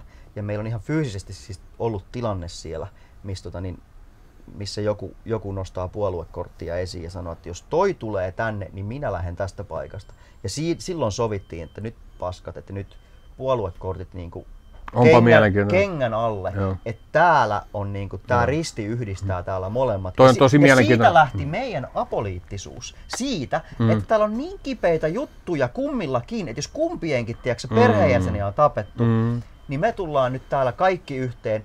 Okei, e- eihän asiat ole sillä hyvä haudata, mutta sitten toisaalta niin kuin Suomessa sodan aikana, niin mm. niin myös joku yhteinen cause joo, joo. voi tuoda yhteen. Totta kai. Ja, ja se on meidän, niin kuin seura- no. meidän seurakunnan to, historia on Tosi tämä. mielenkiintoista, että tämä tuli vielä uudelleen, tämä sisällissota, mistä me joo, puhuttiin tuossa niin. äsken pätkän. Tota, koska niin kuin yksi sen jälkimaininki oli nimenomaan se, mitä hi- jengi ei hiffaa, niin eh, punakaartilaisten lesket ei esimerkiksi ollut oikeutettuja lesken eläkkeeseen. Ne, yhteiskunta jätti ne hei, heitteille. Vanhoja punakaartilaisia tai niiden sukulaisia ei haudattu kirkkomaahan esimerkiksi. Mm. Ja vasta piispa Kari Mäkinen pyysi näistä asioista pari vuotta sitten anteeksi. Siinä on ollut ihan mieletöntä Joo. sellaista leimaa ja häpeää. Toi on tosi mielenkiintoinen niin kuin juttu, juttu myös siinä mielessä, että jos mennään sinne IVV-läisyyteen, niin sinne Amerikan suomalaisen työväenliikkeeseen, niin yksi semmoinen kritiikki, mikä niillä olikin, niin oli se kirkon hierarkisuus niin kuin siinä mielessä, että mm. papit asettuu niin kuin jollain mm. tavalla. Mm. Ja sehän on oleellinen oh. kritiikki niin kuin siinä, niin. että se on vallankäytöllinen juttu ja siitä mm. tulee paljolti varmaan sitten historiallisia ongelmiakin mm. ollut, ollut näin. Ja, ja sitten toinen tietysti, mitä ne kritisoi, oli se semmoinen niin kuin pie in the sky se mm. niin kuin, vie, viesti, että, että kärsikää tässä, mutta va, niin kuin, niin. Niin. Kuin yltäkyläisyys odottaa tuolla tuonpuoleisessa. Mm. Ne halus, ei, kun me halutaan muuttaa meidän tilannetta nyt. Mm. Mutta nämä menee, poliittiset liikkeet ja myös niin kuin, niin kuin, niin kuin, Hengellisyys. he, hengellisyys menee rinnakkain. Kyllä, että kyllä. siellä on tosi, ja mm. tosi mielenkiintoinen se, että nostit sen, sen tota, kansalaisoikeustaistelun ajan, josta myös yksi niin kuin, KRS-One on aina sanonut, tota, että, että hiphopilla on niin kuin monta syntypaikkaa ja se on niin kuin ottanut ikään kuin mukaansa erilaisia asioita siitä sen historian varrelta. Jatsista ehkä improvisaatiota, bluesista tämän minämuotoisen kerronnallisuuden, soulista ja funkista rytmiikkaa ja, ja sitten ilman muuta hengellistä musiikista ja mustasta kirkosta äänenkäytöllisiä juttuja. Eli, eli kuuntelet niin kuin Chuck Dtä, niin hmm. Chuck D tiesi, miten Martin Luther King puhuu se varttu Martin Luther Kingin Ääntä. puheiden ja Malcolm X. Ja se on suora Chuck D, tiedätkö? Bass, how low can you go? Mm. Death row, what a brother no once again, back is the incredible, rhyme animal, the untamable, the public enemy number one. Se on niin kuin Martin Luther King, tiedätkö, Lincoln Memorial. Se puhuu niin kuin saarnamies. Ja se on vaikuttanut meihin kaikkiin mm. niin kuin myös. Eli se semmoinen, niin kuin, ja, ja tähän liittyy syvällisemmin myös siihen mustien asemaan yhteiskunnassa. Siellä ei ollut sankareita mustat oli lähinnä, niitä, ne oli pilkanteon kohteita tai uhka populaarikulttuurissa sodan jälkeen. Siis ei ollut, ei ollut mitään, oli tämä minstrel-kulttuuri, jossa valkoiset maalas blackface, mustat ja esitti niiden musiikkia, mm. koska oli rotuerottelu ja mustat eivät itse voineet esittää omaa musiikkia. E- Ei ollut mustia urheilijoita, joita olisi voinut ihailla, mm. ei ollut mustaa niin kuin, julkiskulttuuria, näyttelijöitä. Vasta nämä Sidney mm. Poitier, niin kuin Harry Belafonte, sitten tuli Sam Cooke, 50-luvulla niin kuin Sammy Davis Jr., tietyt tyypit, jotka rupes muuttaa sitä. Ja sen takia se oli vähän överi se James Browninkin ja 60-luvun, niin kuin, se, se, se, se liittyy niin läheisesti toisiinsa se niin kuin musta emansipaatio, eli murtautuminen sieltä marginaalista, ja niin kuin ne mustat sankaritarinat syntyy ikään kuin niiden, ja sen takia se on vähän överi se osittain se afroamerikkalainen julkiskulttuuri vielä tänäkin päivänä. Sen takia se on niin voimakas sellainen Totta. mystiikka, mikä liittyy Jay-Z, Beyoncé, niin kuin tämä koko homma. Mutta se liittyy tähän historiaan, koska ne ihmiset, jotka on julkisuudessa murtautunut sieltä marginaalista ja siitä rotuerottelusta, kun me muistetaan kuitenkin se, että mustat sai äänioikeuden Jenkeissä vähän yli 50 vuotta sitten. Mm. Miettikää. Jep, kela. Mm. Se on ihan käsittämätön. Eli omalla tavallaan se on niin, kuin niin voimakkaasti sidoksissa niin kuin se, myös se mustan populaarikulttuurin synty, mm, mm. Motownin ja näiden menestystarinat olikin se, että mustat rupesi tekemään itselleen ja ne rupesi itse, siellä oli myös juutalaisilla, oli, Amerikan juutalaisilla oli voimakas asema siellä, Chess Records ja monet muut, siellä on ollut tosi paljon tyyppejä, jotka on ollut mukana siinä, koska ne on ollut myös vähemmistöpositiossa mm, ikään kuin, mm, mm. Niin kuin sotien jälkeen, mutta tämä on niin kuin tosi mielenkiintoinen tämä koko juttu, miten se se niin kuin rotuerottelun aika liittyy. Ja silloin ne kansalaisoikeustaistelun, niin kuin, jos sä ajattelet ne, kansalaisoikeustaistelussa oli mielenkiintoista se, että se yhdisti monikulttuurisesti ihmiset. Valkoisetkin Joo, sai joo. tulla sinne vaatimaan niitä oikeuksia. Se 60-luvun radikalismi. Joo. Ja tota, silloinhan ne laulo paljolti ylistyslauloja. Ne, ne oli myös Mm, mm, kyllä. vanhoja virsiä Joo. Ku, kumbajaat ja Joo. We Shall Overcome It ja, ja muuta. Et se on, se on niin tosi voimakkaasti siellä se, se hengellisyys. Ja sitten myös niin ne, ne folkkityypit, jotka liittyi tuohon, että siinä oli mustaa musaa, mutta sitten oli myös tämä niin Dylanin ja Joan Baezin, jotka oli paikalla siellä Martin Luther Kingin kanssa siellä Lincoln Memorialilla. Ne seisoi, odotti vuoroa ja sitten ne laulot Times Are Aivan. Changing, kun se puhui siellä. Kela. Million Man Marches. Siellä oli nuori Dylan. Seisoi siinä vieressä ja niin, odotti vuoroa.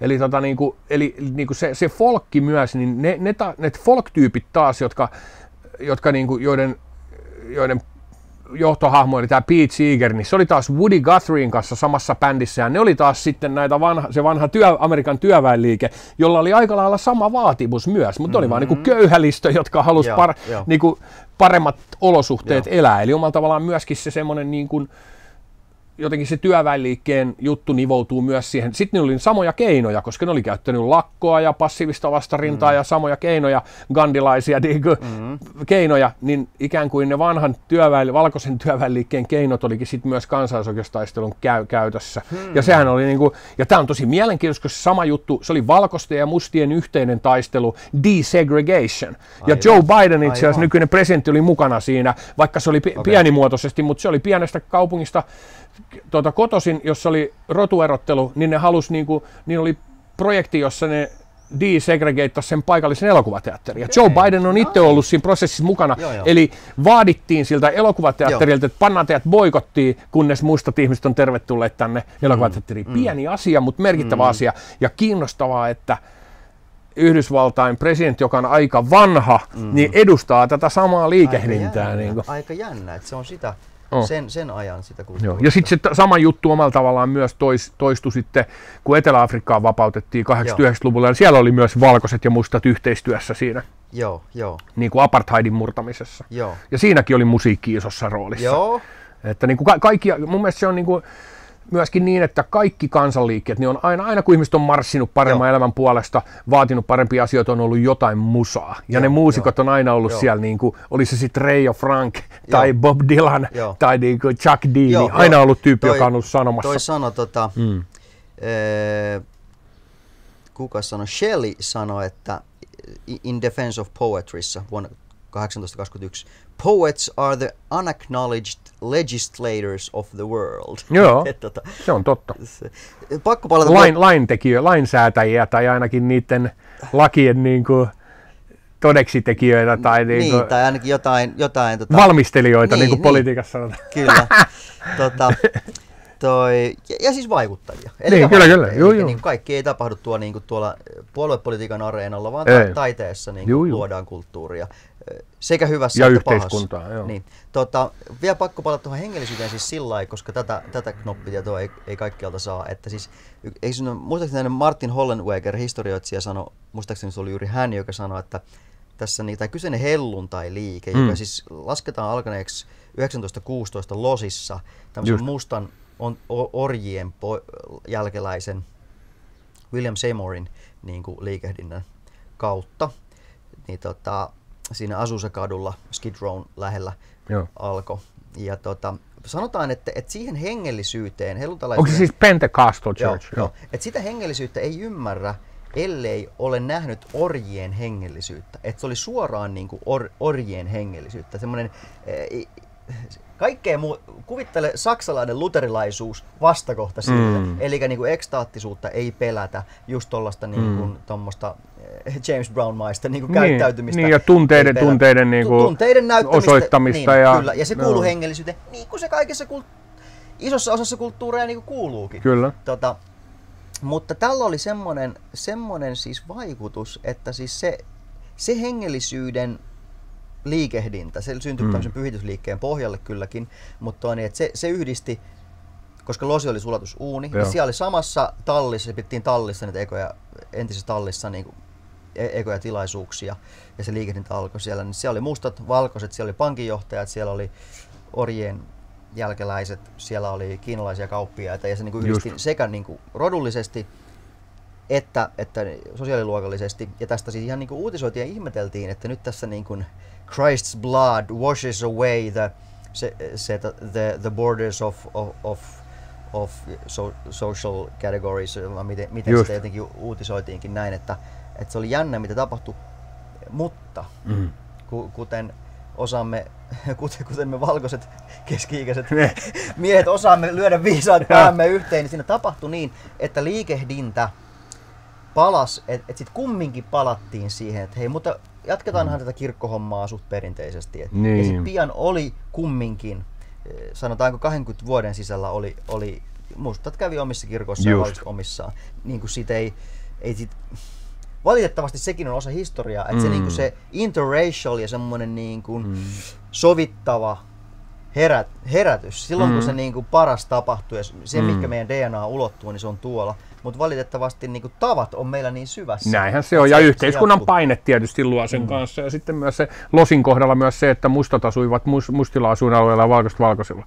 Niin yksinkertaisesti Juuri siis näin. helppo, helpompaa ja järkevämpää on, että me mennään nyt tähän kirkkoon, Kyllä. koska tämä on meillä Kyllä, tässä, ja totta. noi on sitten tuolla. Et ne oli voimakkaat jakolinjat, Se- Losihan, Losissahan näkyy todella voimakkaalla tavalla se rotuerottelu, siis suorastaan Okei. kartalla, siis siellä pystytään näyttämään missä kohtaa, ja se on ne edelleen ne vähän huono-osaiset ja huono hienomaineiset mustat asuinalueet, Niin, South Central ja muut, niin on perinteisesti tätä. Ja itse asiassa poliisi esti fyysisesti ihmisiä liikkumasta sen rajan yli. Ja, ja tähän liittyy itse asiassa jengien synnyt, Crips ja Bloods ja muuta. aha. Ne liittyy nimenomaan siihen poliisiväkivaltaan ja siihen niin kuin sellaiseen ö, kontrolliyhteiskuntaan, joka siellä oli. Että sitten päätettiin, että okei, me pysytään näillä kulmilla ja me hoidetaan täällä meidän omat hommamme. Et ihan hyvinhän se ei mennyt, mikään sulkeutuminen ja eristäytyminen ei ole koskaan mikään ratkaisu. Mutta, mutta ö, näiden jengien syntyyn liittyy voimakkaasti se, että haluttiin suojella omalla tavallaan sitä omaa yhteisöä, niin kuin tämmöistä mm, rasistista järjestelmää kohtaan. Mutta tosi mielenkiintoisia asioita. Toi on tosi kiinnostavaa, koska mä en tiennyt, että helluntalaisuus on nimenomaan siellä Losissa syntynyt. Joo, joo ja, se on, ja sit, sit, tietysti sin- sil- silläkin sanotaan olevan tota niin, monessa paikassa Juuria. syntyhistoriaa, mutta Mm. tähän, tähän se yleensä niin ajoitetaan ja justiin, justiin häneen. Tota, tähän, tähän Seymour. Seymour, joo. Joo. Tota, asiasta neljänteen, sullakin on taustaa Sortavalan suunnalla muistaakseni juuri, ja mainitsitko sen Juu, äsken. Karjalasta. Siellä on tota, Sortavalassa on mun yhden esi-isäni Patsas, runonlaulaja Patsas, Ai jaa. mun yksi esi-isäni, mummon isopappa oli tota, niin tämmönen Bedri Shemeikka, runonlaulaja. Ihan totta, mä Joo. tiedän sen kyllä hänen nimeltä, Joo. nimeltä ihan. Tota, Okei. runon laulaminen, niin Joo. tota, se, on, se on monissa kulttuureissa on tällaista ja mi, mit, mitä se on ja mikä on runouden ja tällaisen että runon laulaminen historia? No siis se, sehän on niinku, me, se on niin vanha, että me ei tiedetä. Että, ja sitten kun mennään historiassa riittävän pitkälle, niin puhutaan suuresta unohduksesta. Koska Aivan. niin kuin aikaa ennen historiaa, kun ei ollut historiallisia dokumentteja, niin sitten me voidaan vain spekuloida. Aivan. Nykyään tietysti arkeologit tietää aika pitkälle, sitten pystytään määrittelemään asioita ja näin. Mutta siellä on oikeasti semmoinen tuhansien vuosien gappi, mistä me ei tarkalleen voida tietää, mitä silloin tapahtui. Mutta siis runolaulantahan on tämmöinen jonkinlainen niin kuin äärettömän tärkeä tapa tallentaa tietoa. Sitähän se niin kuin on.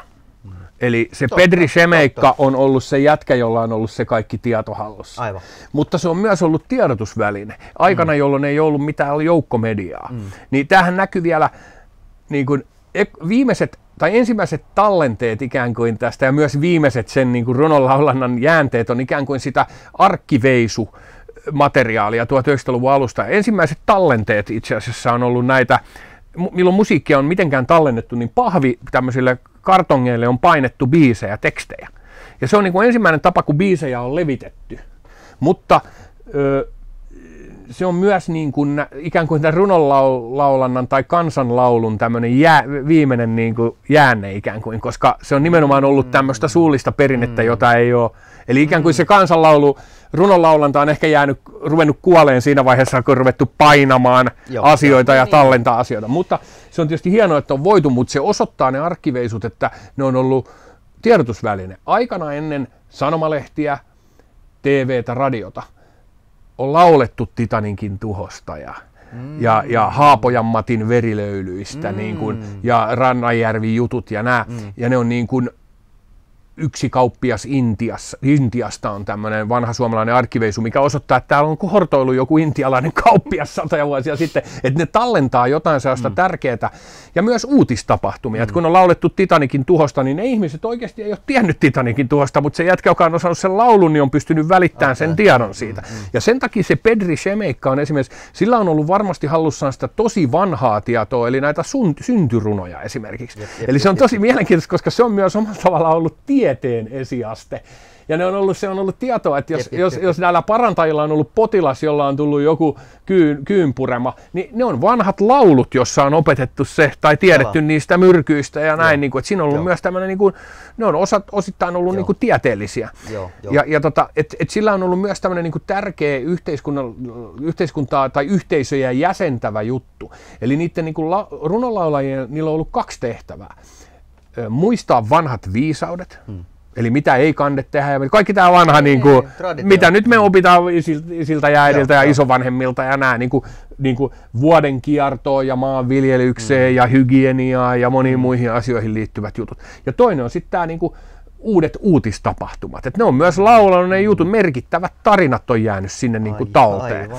Ja 1800-luvullahan nämä kerättiin ikään kuin, niin kuin se kalevalainen Lönnruut keräsi ikään kuin tuhansia runoja ja kerättiin tämä niin kuin Suomen kansan vanha perinne siellä oli muitakin keräjiä, ei ollut pelkästään Lönnrot. Mm, mm. Ja ne kerättiin ne kaikki materiaalit, Suomen kansan vanhat laulut ja runot. Ja se on tosi mielenkiintoinen se juttu. Ja myös se, että siellä on aika paljon seksuaalisuutta ollut myös, tosi mm, paljon. Ja se on, se on myös ehkä sitten tämän, kun sä mainitsit luterilaisen kulttuurin ja ehkä sen sellaisen tietyn kankeuden, mikä mm. siihen liittyy, tai se niin elämälle vierauden, mikä siihen liittyy, niin, niin, niin, niin kiinnostavaa, että kun menee tuonne suomalaisen kirjallisuuden seuran ar- arkistoon, missä on näitä vanhoja runoja arkistoitu teemoittain, että siellä on ollut justiin näitä erilaisia asioita, niin sitten siellä, kyllä siellä muut kategoriassa on kaikkein kiinnostavimmat asiat. Kun ihmiset on ollut häveliäitä, niin ne ei ole uskaltanut, niin kuin, mutta että siellä on tosi paljon asioita. Ja itse asiassa tämmöistä tosi voimaannuttavaa feminististä kulttuuria, jossa naiset on laulanut oh. omista, omasta seksuaalisuudestaan tosi voimakkaasti. Joo, joo. Että siellä on joo. äärettömän paljon niin kuin tällaista kaikkea. Ja se, se on myös semmoista, jota on vähän jätetty, no puhutaan tästä sitten vähän myöhemmin tyyppisesti, mutta kyllä siellä on koko ihmisen niin kuin kehollisuus ja Joo ja niin kuin kaikki, niin kuin, mutta se, se perusperiaate on se, että lauletaan vanhat viisaudet, uudet uutistapahtumat. No mitäs räppärit tekee? Et kyllä se on joo, ihan selvästi joo, sama. Joo, joo, ja jos sä mietit Tilania, niin kuin, come gather around people wherever you roam, ne laulaa, niin kuin, että mitä täällä yhteiskunnassa nyt tapahtuu. Tai joku Reijo Frank niin kuin työväenlaulajana, niin, niin, niin, niin siinä on kysymys niin kuin samasta asiasta. Ja, ja kyllähän se niin kuin, jos raamatunkin haluaisi omalla tavallaan nähdä, niin kuin, sehän on myös tämmöinen niin kuin, sehän on myös uutistapahtumia niin, no, ja kyllä, kyllä. lajitelma uutistapahtumia, sotahistoriaa joo, ja, joo. ja sitten tarinoita. Joo. Että niin kuin, ne on kuitenkin semmoinen, niin kuin, sit kun mennään aikaan ennen tallenteita ja missä asiat on joo. vaan puhuttua, joo. muistettua kulttuuriin, niin silloin se Pedri Shemeikka, tai se Chuck D on ollut todella isossa roolissa sen koko yhteisön kannalta, Joo. koska se on pystynyt, ja se on oppinut varmasti, Kyllä. se on usein ollut tämmöinen niin kuin isältä pojalle tai sukupolvissa yeah. periytyvä tehtävä Joo. myös. Joo. Eli paitsi, että sä oot ollut velvollinen ikään kuin jakamaan sitä, niin sulla on, sulla on velvollisuus myös muistaa se kaikki Jep. ja sitten luoda ehkä sitä lisää koko ajan. Ja, ja tuossa mm. tullaan sitten taas, nyt jos tullaan raamattua, niin mm. mun kaveri eh, Tuomas Havukainen on tehnyt, tehnyt väikkärinsä isosta aiheesta, mutta joka on elänyt mullistuksia viime vuosikymmenen, siis niin kuin, tradition siirtäminen oraalisissa kulttuureissa, mm. miten evankeliumi, eli siis tämä, mistä Uusi testamentti alkaa, nämä neljä evankeliumia, Kyllä. niin miten ne, tota, nehän on niin kuin, jo, jo, jokun vuosikymmen tapahtumien jälkeen kirjoitettuja, Joo. mutta niin niitä tutkittiin ehkä ekat tieteellisen vallankumouksen jälkeen, niin ekat, e, e, ekoina vuosina vuosikymmeninä ei tajuttu, mm. että ei ne nyt mitään niinku dorkia ollut. Että mm. oraalinen kulttuuri säilytti paremmin tietoa kun siihen aikaan olisi teksti säilyttänyt. Ilman muuta. Ja, ja muun muassa sen takia, että niin kuin siellä nuotion äärellä, kun niitä jaettiin, niin siinä oli mm. koko ajan yhteisöllinen siis toi rinki ympärillä, joka sanoi, että hei, ei se mennyt noin. Ei se niin, noin mennyt. Korjataan, Joo. korjataan Joo, eli mm. se on niin kuin tota, se on niin kuin me nähdään jo evankeliumeissa, että se oli siis, se tradition oli niin kuin living, se, yhden teorian mukaan se oli tämmöinen living tradition, se eli, Elävä. eli se mm. voitiin kertoa uudessa tilanteessa niin kuin uudesta kulmasta. Mutta se oli control, se oli living control tradition. Mm. Eli niin kuin sitä koko ajan kontroltiin, että sä voin yhtäkkiä sanoa, ja sitten Jeesus lensi, niin kuin, itse asiassa sit se lensi niin kuin, ja kiersi tornin niin kuin, siivillä ja dibadabadaa. Koska mm. sitten heti sata vuotta näiden jälkeen tai alle kirjoitettiin sitten sellaisia evankeliumia, jossa ei ole ikään kuin se historian maku. Niissä Jeesuksen tai Pietarin tai jonkun enkelin pää ulottuu pilviin. Mm. Ja ne on selkeästi jo mytologisoitunut. Mutta että niin se on jännää, että kirjoituksissa on tämä me emme länsimaalaisina tajua välttämättä sitä, että ei oraaliset kulttuurit ole tyhmiä kulttuureita. Siellä ei ollenkaan. oikeasti säilytetään. Joo, joo. joo, joo. Ja tää, se, sitten se toinen, mikä sitoo niin kuin tämän tämmöisen suullisen oraalisen perinnekulttuurin ja tämän tietäjäkulttuurin, koska se, se runolaula on ihan sama kuin, niin kuin tietäjä. Hmm niin, niin, niin on sitten griotit, eli Le Griot siellä Länsi-Afrikassa, joka on mm. niin kuin räppärien semmoinen historiallinen esi-isä. Okay. Eli se, ne on niin kuin, ne, nyt kun sä meet Sahelin eteläpuoleiseen Länsi-Afrikkaan, Nigeriaan, Ghanaan, Togoon, Senegaliin, Gambiaan, näihin kaikkiin maihin, niin siellä on griottikulttuuri. Ja Suomessakin on joitakin griotteja. Esimerkiksi Malang Sisoko, joka tota, laulaa Väinö Väinö, missä on se Väinö J. Karjalaisen kanssa, niin se on alenevassa polvessa Sisokon kriottisukua, jolla on ollut tämä sama tehtävä. Ja siellä ne on tyypillisesti koran soittajia, ne soittaa tätä Aha. Kalebassista tehtyä tota, harppua ja laulaa näitä biisejä. Okay. Mutta se on niinku se räppärin esisä, jos sä meet sinne niinku orjalaivojen reittiä takas Länsi-Afrikkaan ja katot mitä siellä tapahtuu, niin siellä ne griotit on.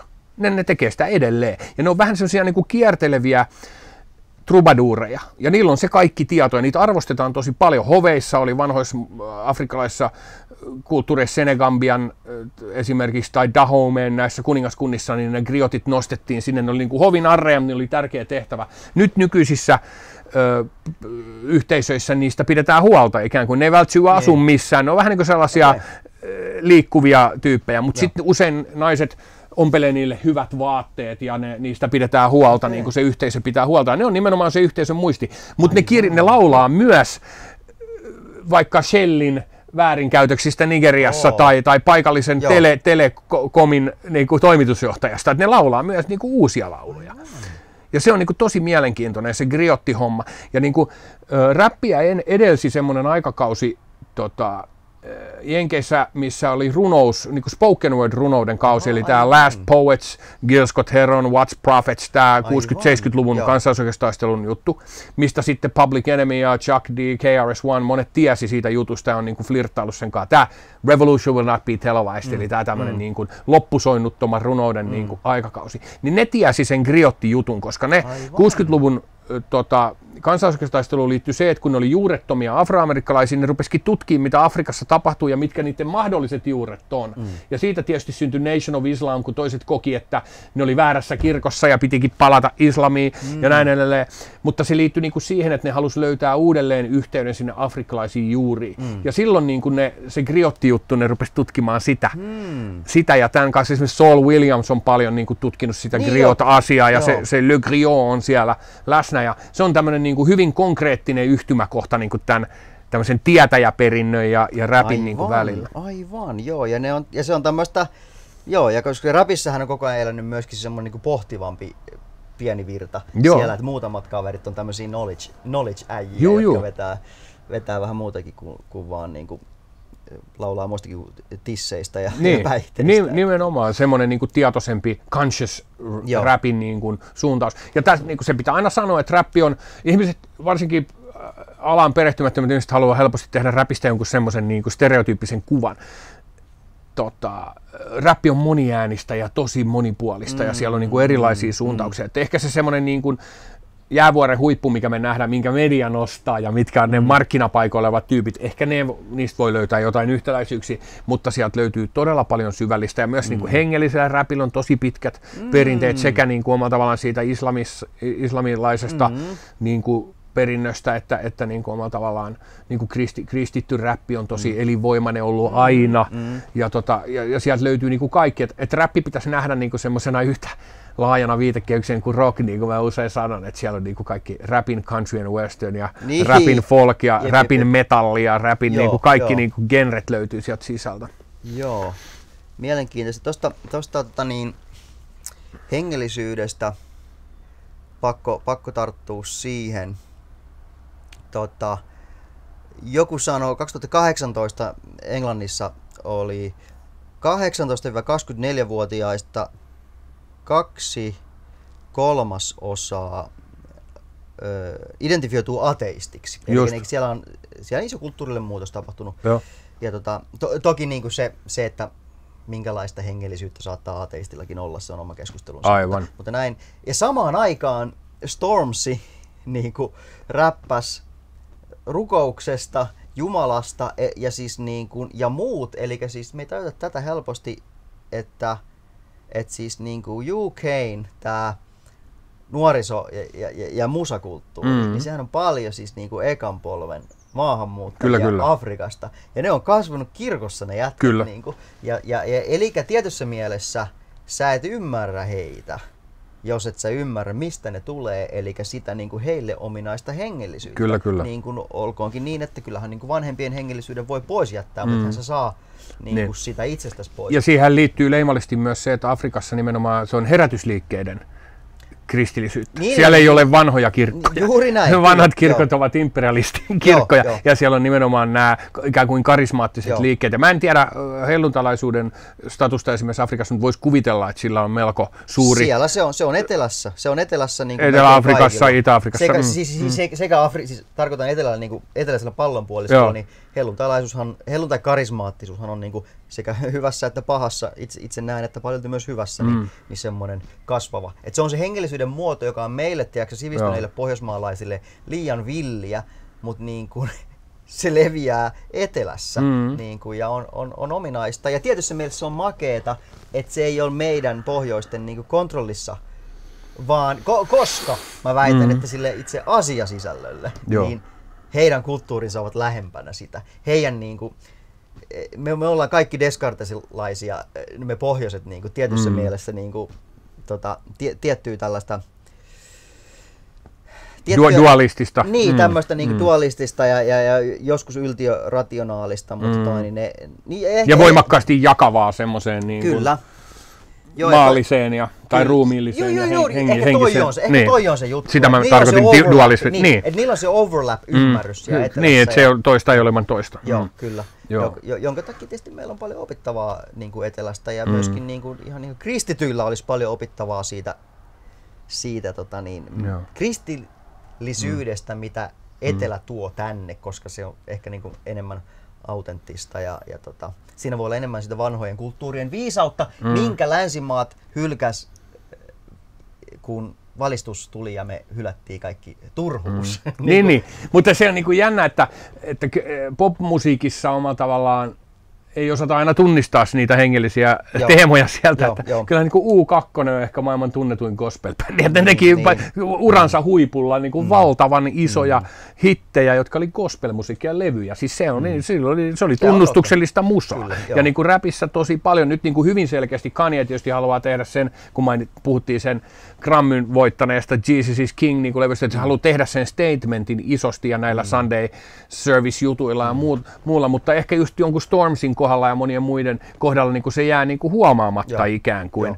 Tai yksi niin kuin om- omista suosikeista vanha, vanha tota, tota, englantilainen poppibändi, tai House Martins, niin sehän oli, sehän oli siitä mielenkiintoinen, että ne oli, niinku, ne oli marksilaisia kristittyjä. Okay. Että niillä oli vielä tämä, tota, mutta nehän teki niinku Caravan of Lavia ja monta muuta niinku juttua 80-luvun, missä oli hyvin selkeästi niinku sanomallinen asia. Niin okay. En mä sitten tiedä, niinku, että kuinka paljon Kyllä sitä täälläkin kuunneltiin hittikaseteilla ja muita, mutta en mä tiedä hiffasko ihmiset. Mutta tähän näkyy niinku just afroamerikkalaismusassa laajasti. On paljon diskomusaa, soulmusaa, funkkia, jossa on niinku semmoinen hengellinen alavire koko ajan läsnä siellä, mm. Niin kuin, mm. Mm. Niin kuin siellä messissä. Et se on niin kuin eri asia, pystyykö niin kuin tunnistamaan, mutta tämä on kyllä kiinnostavaa, että samaan aikaan kun sä kerroit tuossa statistiikat, samaan aikaan kun niin kuin tämmöisessä ovensuukyselyssä tai gallupissa ihmiset identifioituu ateistiksi, niin isoimmat artistit, jotka nousee Joo. sillä aikakaudella ja Joo. ketä ne kuuntelee, Joo, joo. onkin hengellisiä Joo, artisteja. joo. Ja, ja, ja sitten, että, niinku, että, että kuninkaalliset on siis Mm. niiden ke- keikalla. Siis, siis, että, että siis se vaikutusvalta on se, että ne ei, ne ei ole ainoastaan niin nuorison. Mm. Sekin on aika suhteellisen katuuskottava varmaan oli ainakin, varmaan vieläkin On, on. Juu, juu. Mutta se, että, niin kuin, siis, että se on myös sillä tavalla populaarikulttuuria, mm. että, niin kuin, että, että, että niin kuin kaikki seuraa mm. sitä. Mm. Ja nyt on- kun katsotaan kiinnostavinta, yhtä kiinnostavinta niin kuin uuden musan segmenttiin, niin sitten ne on nämä Burna Boy ja, ja Wizkid ja nämä Jep. nigerialaiset artistit, Aivan. jotka myös, niin kuin se on hyvin erilainen identiteetti ja myöskin hyvin voimakkaasti hengellinen joka näillä tyypeillä on. Joo, ja sitten se on jännä, mä just viime viikolla niin kuin yhdessä pappien eri kirkkokuntien, lähinnä luterilaisten pastorien foorumilla kävin, kävin tästä keskustelua. Joku kysyi, joku sanoi, että eihän MLK, Ma- Martin Luther Mm. Kingin ajattelu, niin eihän se nyt, eihän siinä mitään hengellisiä päämääriä tai taustavireitä ollut, sehän oli täysin tämän puoleista, whatever, no munhan oli pakko, kun just, just tätä haastattelua varten Mm. mm. hommaa miettinyt, niin oli vaan pakko vastata, että hei, anteeksi vaan, mutta musta tuntuu, että mustien hengellisyys on asia, joka on se on koko ajan läsnä. Mm. Sitä tarvii eksplisiittisesti niin sanoa, mutta meidän niin kuin valkoisten, kella on nyt tieto, me pohjoiset valkoiset, meillä on tieto, mitä se asiallinen hengellisyys on, niin eihän me niinku, se menee ohi meidän radarin, se tietty niinku hengellisyys, mitä, mm. mitä tämmöisessä niinku Stormzy-tyyppisessä niinku vaikka mm. mustassa kanssa, tai, tai Amerikassa niinku se Kanyen taustakuoro jengi, niin, tota, mm. niin se, se on hengellisyyttä, mikä ei ehkä, voi olla niin kuin läsnä myös niin kuin rivien välissä. Mm. Onhan se totta, että varmasti mm. siis MLKlla oli muitakin, oli ma- maal, tämänpuoliset päämäärät paljoltikin, mutta mä uskon, tai siis on, tiedetään, että siinä oli hengellistä taustavirettä. Mutta me ei nähdä sitä valkoisena aina. Mm, että hei, tuolla on niinku hengellisyyttä, koska se ei ole sitä hengellisyyttä, se ei ole kirkollista Joo. hengellisyyttä.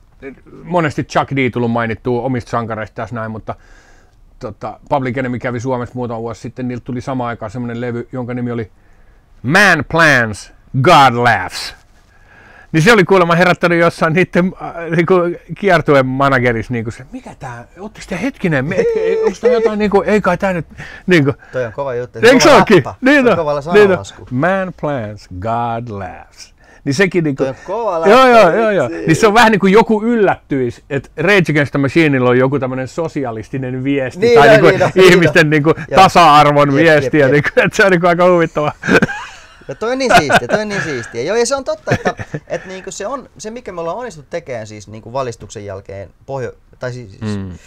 länsimaissa, on se just se sun mainitsemassa niinku dualismi, mm. että sitten niinku esimerkiksi romantiikan runoilijat, ketä dikkailen paljon, niin mm. ne, niinku, ne oli niinku julistamassa sieltä, että hei, että olette niinku unohtanut joku aspektin tästä. Mm. Niinku, ja ja tota, se voi olla, mm. että, että me tietämättä me elämme niinku mm. välillä niinku to, tosikin siis tosi niin kuin, siis li, mä väitän, että liian naturalisteina, mutta siis liian niin kuin dualistista. Mm, mutta si, mut siinähän on baggageakin, että sä oot maininnut tämän pohjoinen etelä, sit sä oot maininnut tämän valkoisuuden mm. suhteessa näihin niin kuin kolonisoituihin maihin, mm. niin kyllähän se nyt on ihan selvä, että kirkolla on ollut merkittävä rooli kolonialismin historiassa ja imperialismin mm. historiassa mm. ja näiden ihmisten Joo. orjuuttamisessa, näiden maiden mm. luonnonvarojen ryöstämisessä. Mm. kyllähän se on semmoinen asia, joka pitäisi omalla tavallaan nostaa pöydälle mm. ja silloin on, on että itse asiassa, jos me katsotaan vaikka transatlanttisen Norjakaupan historiaa, niin totuus on se, että et, et, et ne käynnisti, siis pa- Paavi allekirjoitti, oliko se Nikolaus V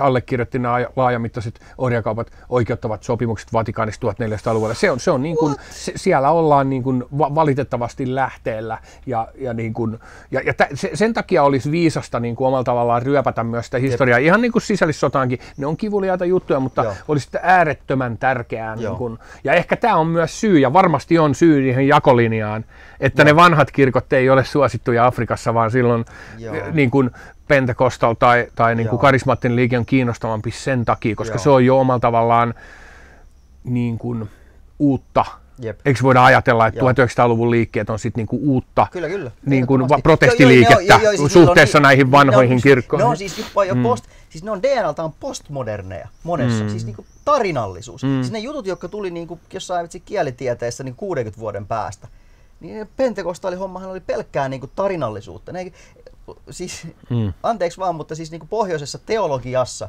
vielä mä muistan nuorena, puhuttiin, että niin kuin, ei, ta, ei tarinasta voi tehdä teologiaa. Apostolien teosta ei voi ottaa oppia, koska Pentekostaali teki sitä, että me, meidän oppi lähti niin kuin apostolien teosta, koska ei tarinasta voi ottaa oppia paskan marjat. Nimenomaan tarinasta pitää Nimenomaan ottaa. se sitä, sieltä. Totta kai, niin kuin, täsmälleen. Joo. Ja sitähän tämä on, sehän on, nyt ollaan siellä runonlaulannan ytimessä ja siinä vanhan perinteen muistamisen nyt. Sen takia ne muistetaan ne jep, Pekka jep, ja Susi jep, storit on se, että sä voit, jep. ja se, se petee tähänkin päivään mennessä. Yksi parhaimpia neuvoja, mitä sä voit sun lapsille antaa on se, että älä huuda turhaa sutta. Koska sinä päivänä, kun sä oot huutanut sitä ja sitten kun se susi tulee, niin jep. niin kukaan ei enää tuu apuun. Koska ne on tottunut siihen, että toi tyyppi pihutaan sutta koko ajan. Ja ne on niin yksinkertaisia, mm. tavattoman simppeleitä pian. Mutta viisaushan on sitä. Ja sen isokirjakin osoittaa, että mm. viisaus on sitä, että sanoo ikään kuin itsestäänselvyydet oikealla hetkellä. Tai joku Jep. sanoo ne ääneen. Jep. Jep. Osittain, Jep. eikö niin? Joo, kyllä mm. siis juuri mm. näin. Ja sitten tota, että kyllä niin kuin, se, miten me tarinallistetaan tätä päivää, historiaa ja tulevaisuutta, se on avain. Mutta jos me siinä se muistettaisiin se, mikä tuossa sanottiin ja mihin toi kir- sun, sun, sun äskeinen niin kirkon synnit homma li- mm. liittaa, että hyvän ja pahan jakolinja ei mene meidän välitse. Hyvä. Ei kun lä- välitse, vaan se menee meidän lävitse. Toi on mielettömän. Mä, niin mä, oli... mä, tartun tuohon ja mä tut, tutkin tota asiaa vähän tarkemmin. Joo, ja se on ääret, on... paitsi että se on helvetin hyvä riimi, jep, jep. niin myös tota. Jep. Joo saa mm. käyttää, koska ei ole oma. Torstilehti on jakanut ja se on sen baitannut jostain. Mutta niin, siis, meni, Mä Joo. tarvin sitä, että jos niinku, Mm. et, et mun ihmisyys tarvii Totta sitä, kai. että mikä, vaikka kuinka vitsi kuninkaallisen niinku ideologian keksisin, niin Niin siinä on siel- siemen. On, on, ja silti inhimillinen. siellä. Niin, silti Koska sä mä oon ihminen. Mm. Ja, si- ja, ja siinä tullaan siihen, mitä me ei nyt käsitellä tässä jaksossa, mutta Mm. se, että, se, että siis väkivaltahan, väkivaltaisuus, mitä esimerkiksi Mm. rappi on välillä Mm. sanottanut, sehän on meissä. Se on osa meidän Totta ihmistä. kai. Niin seksuaalisuus, niin väkivaltaisuus on osa meitä. Täsmälleen. Ja tota niin, parempi kuin heittää se sinne kellariin ja ei ole mukaan olemassakaan, niin opetella jotenkin Sen kanssa kipeän diilaamaan. asian kanssa diilaa. Näin se on. Opetella käs, niin kuin, Joo. diilaa ja, niin kuin vihan ja kanssa tämähän se on, että räppi vaan tekee sitä näkyväksi, ihan niin kuin sä, sä niin kuin sanot, ja sosiaaliset ongelmat. Että sehän on tyypillisesti ollut myös tämmöisissä valtarakenteissa ö, yritys sensuroida tai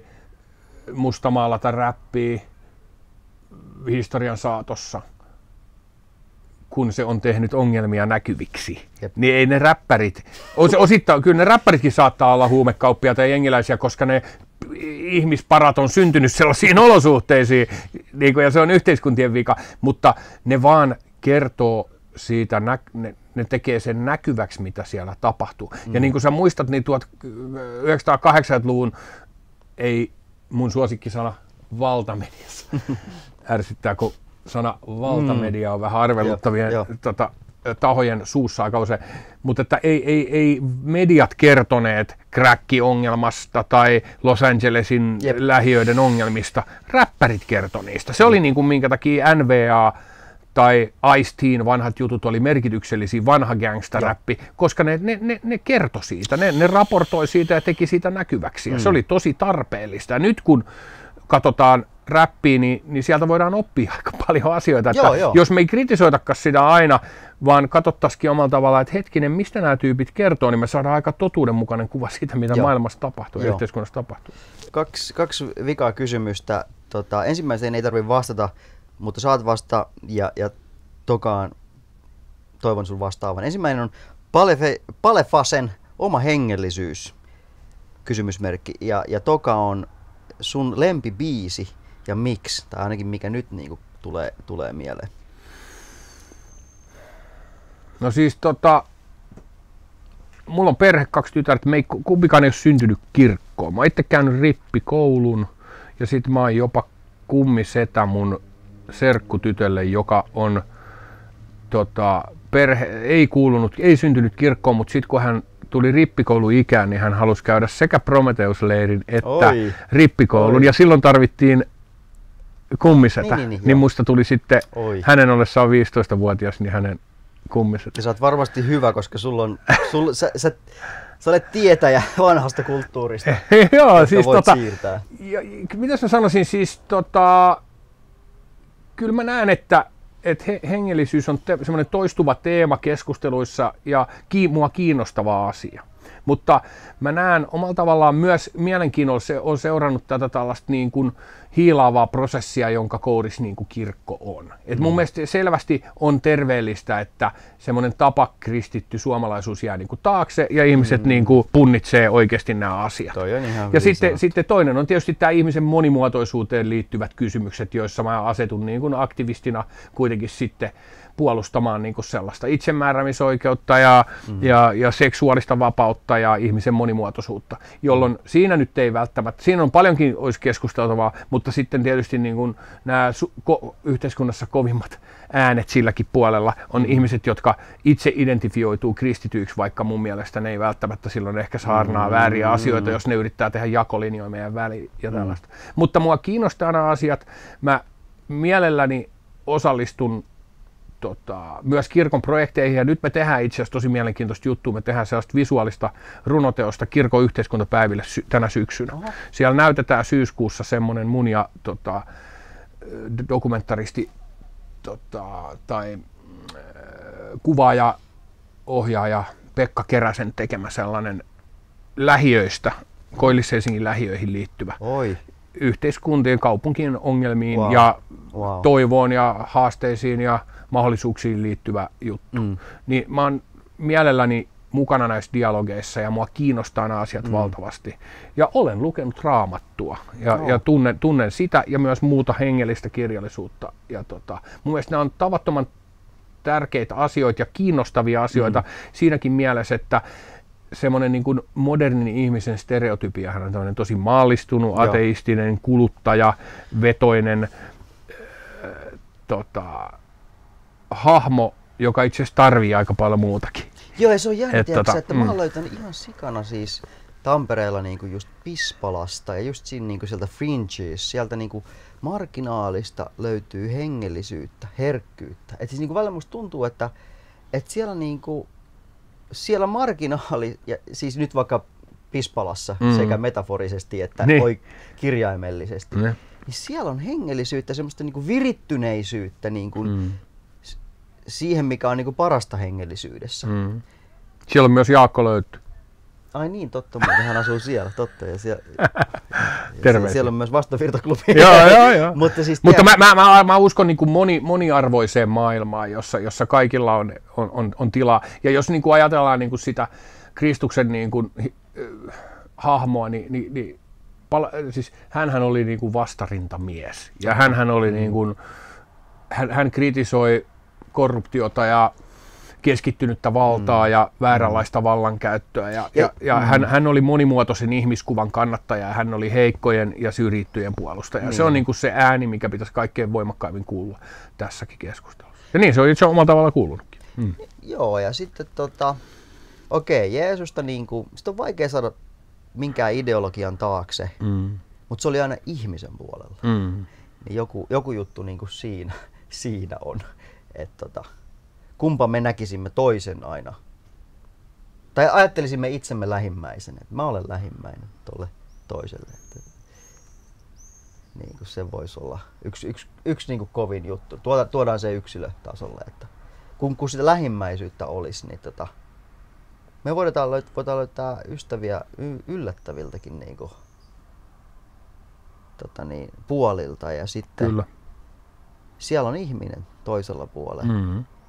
Ja tota, mutta kyllä se vähän on niin, että ellei kaiken maailman kulttuurisotiin ja muihin, niin ellei mm. jotain niinku, jotain S-korttia löydy hiasta, jostain niinku taas niinku ulkopuolelta tuu joku vastaus, niin, tota, mm. niin kyllä me helposti sotasille, sotasille ihmiset niinku synt, ryhtyy. Et sen takia mua vaikka se helluntai-historia kiinnostaa. Et siellä niinku, joku yhteinen hyvä toiki yhteen tosi mm. erilaiset. Mm. Ja se on, kun se tapahtuu, niin se on jotain jumalallista. Mm. Ja silloin se ei, mun mielestä se ei, niin kuin, se ei varmaan lähtökohtaisesti useinkaan ideologista. Mm. Me tullaan sitten tekemään siitä ideologista, ja niin kuin Juise sanoi, että että tota, niin mikä hölmöt seuraajat tekee siitä aatteen. Joku antaa viimeisenkin vaatteen, ja. mutta sitten tekevät siitä aatteen. Heti kun me tehdään ideologia siitä parantavasta, suhteita parantavasta niin kuin jumalallisesta, niin helposti ideologiassa on sitten, mm. siellä on se siemen, mistä puhuit, niin siemen väkivaltaa myös. Ky- totta kai, mutta myös toisin päin omalla tavallaan, että sitten me tarvitaan kuitenkin niitä sellaisia aktivistisia prosesseja tai yhteiskunnallisia prosesseja tiettyjen vääryyksien murtamisessa ja oli kysymys sitten vaikka rotuerottelusta Amerikasta mm, tai apartheidista, mm. niin, niin ei, ne, ei, ei ne pelkästään lauluja laulamalla Totta. tai semmoisella niin kuin hengellinen yhteisö voi antaa siihen jonkun sellaisen turbiinin ja Joo. ydinreaktion, mutta kyllä se vaatii ihmisten uhrauksia ja niin kuin jalkautumista kaduille ja, ja vaatimuksen ja niin kuin työtä niiden prosessien edistämiseksi. Mutta toista ei ole ilman toista Joo. tossakaan Joo, niin ja sä oot esimerkki tosta, että, mm. sä oot esimerkki tosta ja, toi on, ja näin se pitää olla. Ja mm. se kun näin tapahtuu, niin se sheikkaa, siis se, niin kuin, se ravistelee. Joo, ja, ja ilman sitä niin, niin meidän, meidän me tarvitaan sitä. Juu, juu. Ja taide ja, parhaimmillaan niin. tekee sitä. Ja sitten myös niin kuin se, että tavallaan se hengenen perintö, ne raamatun tarinat ja myöskin meidän luterilainen kasvatus, niin se on kuitenkin semmoinen niin kuin osa meidän semmoista kollektiivista psyykettä, mistä puhuttiin aikaisemmin, tai sellaista niin kuin alitajuntaa, jaettua mm. alitajuntaa, mm. niin silloin ne on myös sellaista materiaalia, jotka, joka on hyvää materiaalia runoilijalle ja räppärille, Juu. joka tekee niin kuin, joka yrittää Juu. puhutella Joo. Joo. ihmisten niin kuin oma tavallaan mieltä ja sydäntä, niin silloin niin kuin ne, ne asiat on myös sellaisia, niin kuin mitä, mitä me jaetaan ja mitkä on sellaista niin kuin kudosta josta. Ja myös Juise tunsi hyvin. Tota. Täällä siis mun työhuoneen seinällä on Juisen kuva, sen takia me vi- viittilöidään tonne. niin tota, Juise tunsi myös, jos me katsotaan sitä esimerkiksi kalpeakin kalpeampaa tekstiä, minkä mä äänitin siihen mm. Helsingin mm. levylle, niin siinähän se tota, kääntyy korttipakan puoleen. Hmm. Ja korttipakka on se kuuluisa analogia siis raamatusta, jonka Tapio Rautavaara Totta, Niin, ai niin. niin. ja tota, se, se, on erittäin hengellinen Oh. tota, Juisen teksti, se kalpeakin kalpea. Kiitos, Kannattaa, kannattaa kuunnella se semmoisella Joo. korvalla. Joo, ja sitten se Rautavaaran. Ei, biisi. Joo, Sekin- kyllä, siinähän sotilas on harjoitellut korttipakan, Oh, se on puhutteleva. joo, biisi. korttipakan mukaan. Sly Stone on äänittänyt siitä englanninkielisen versio. Kyllä, joo, tsekkaa se. Oh, kovinta. Mutta hei, sitten vielä lopuksi, niin Lempibiisiä. ma- mahdotonta ehkä nostaa, jos mä nostan vaikka kolme, niin siinä Joo. olisi mun mielestä hyviä.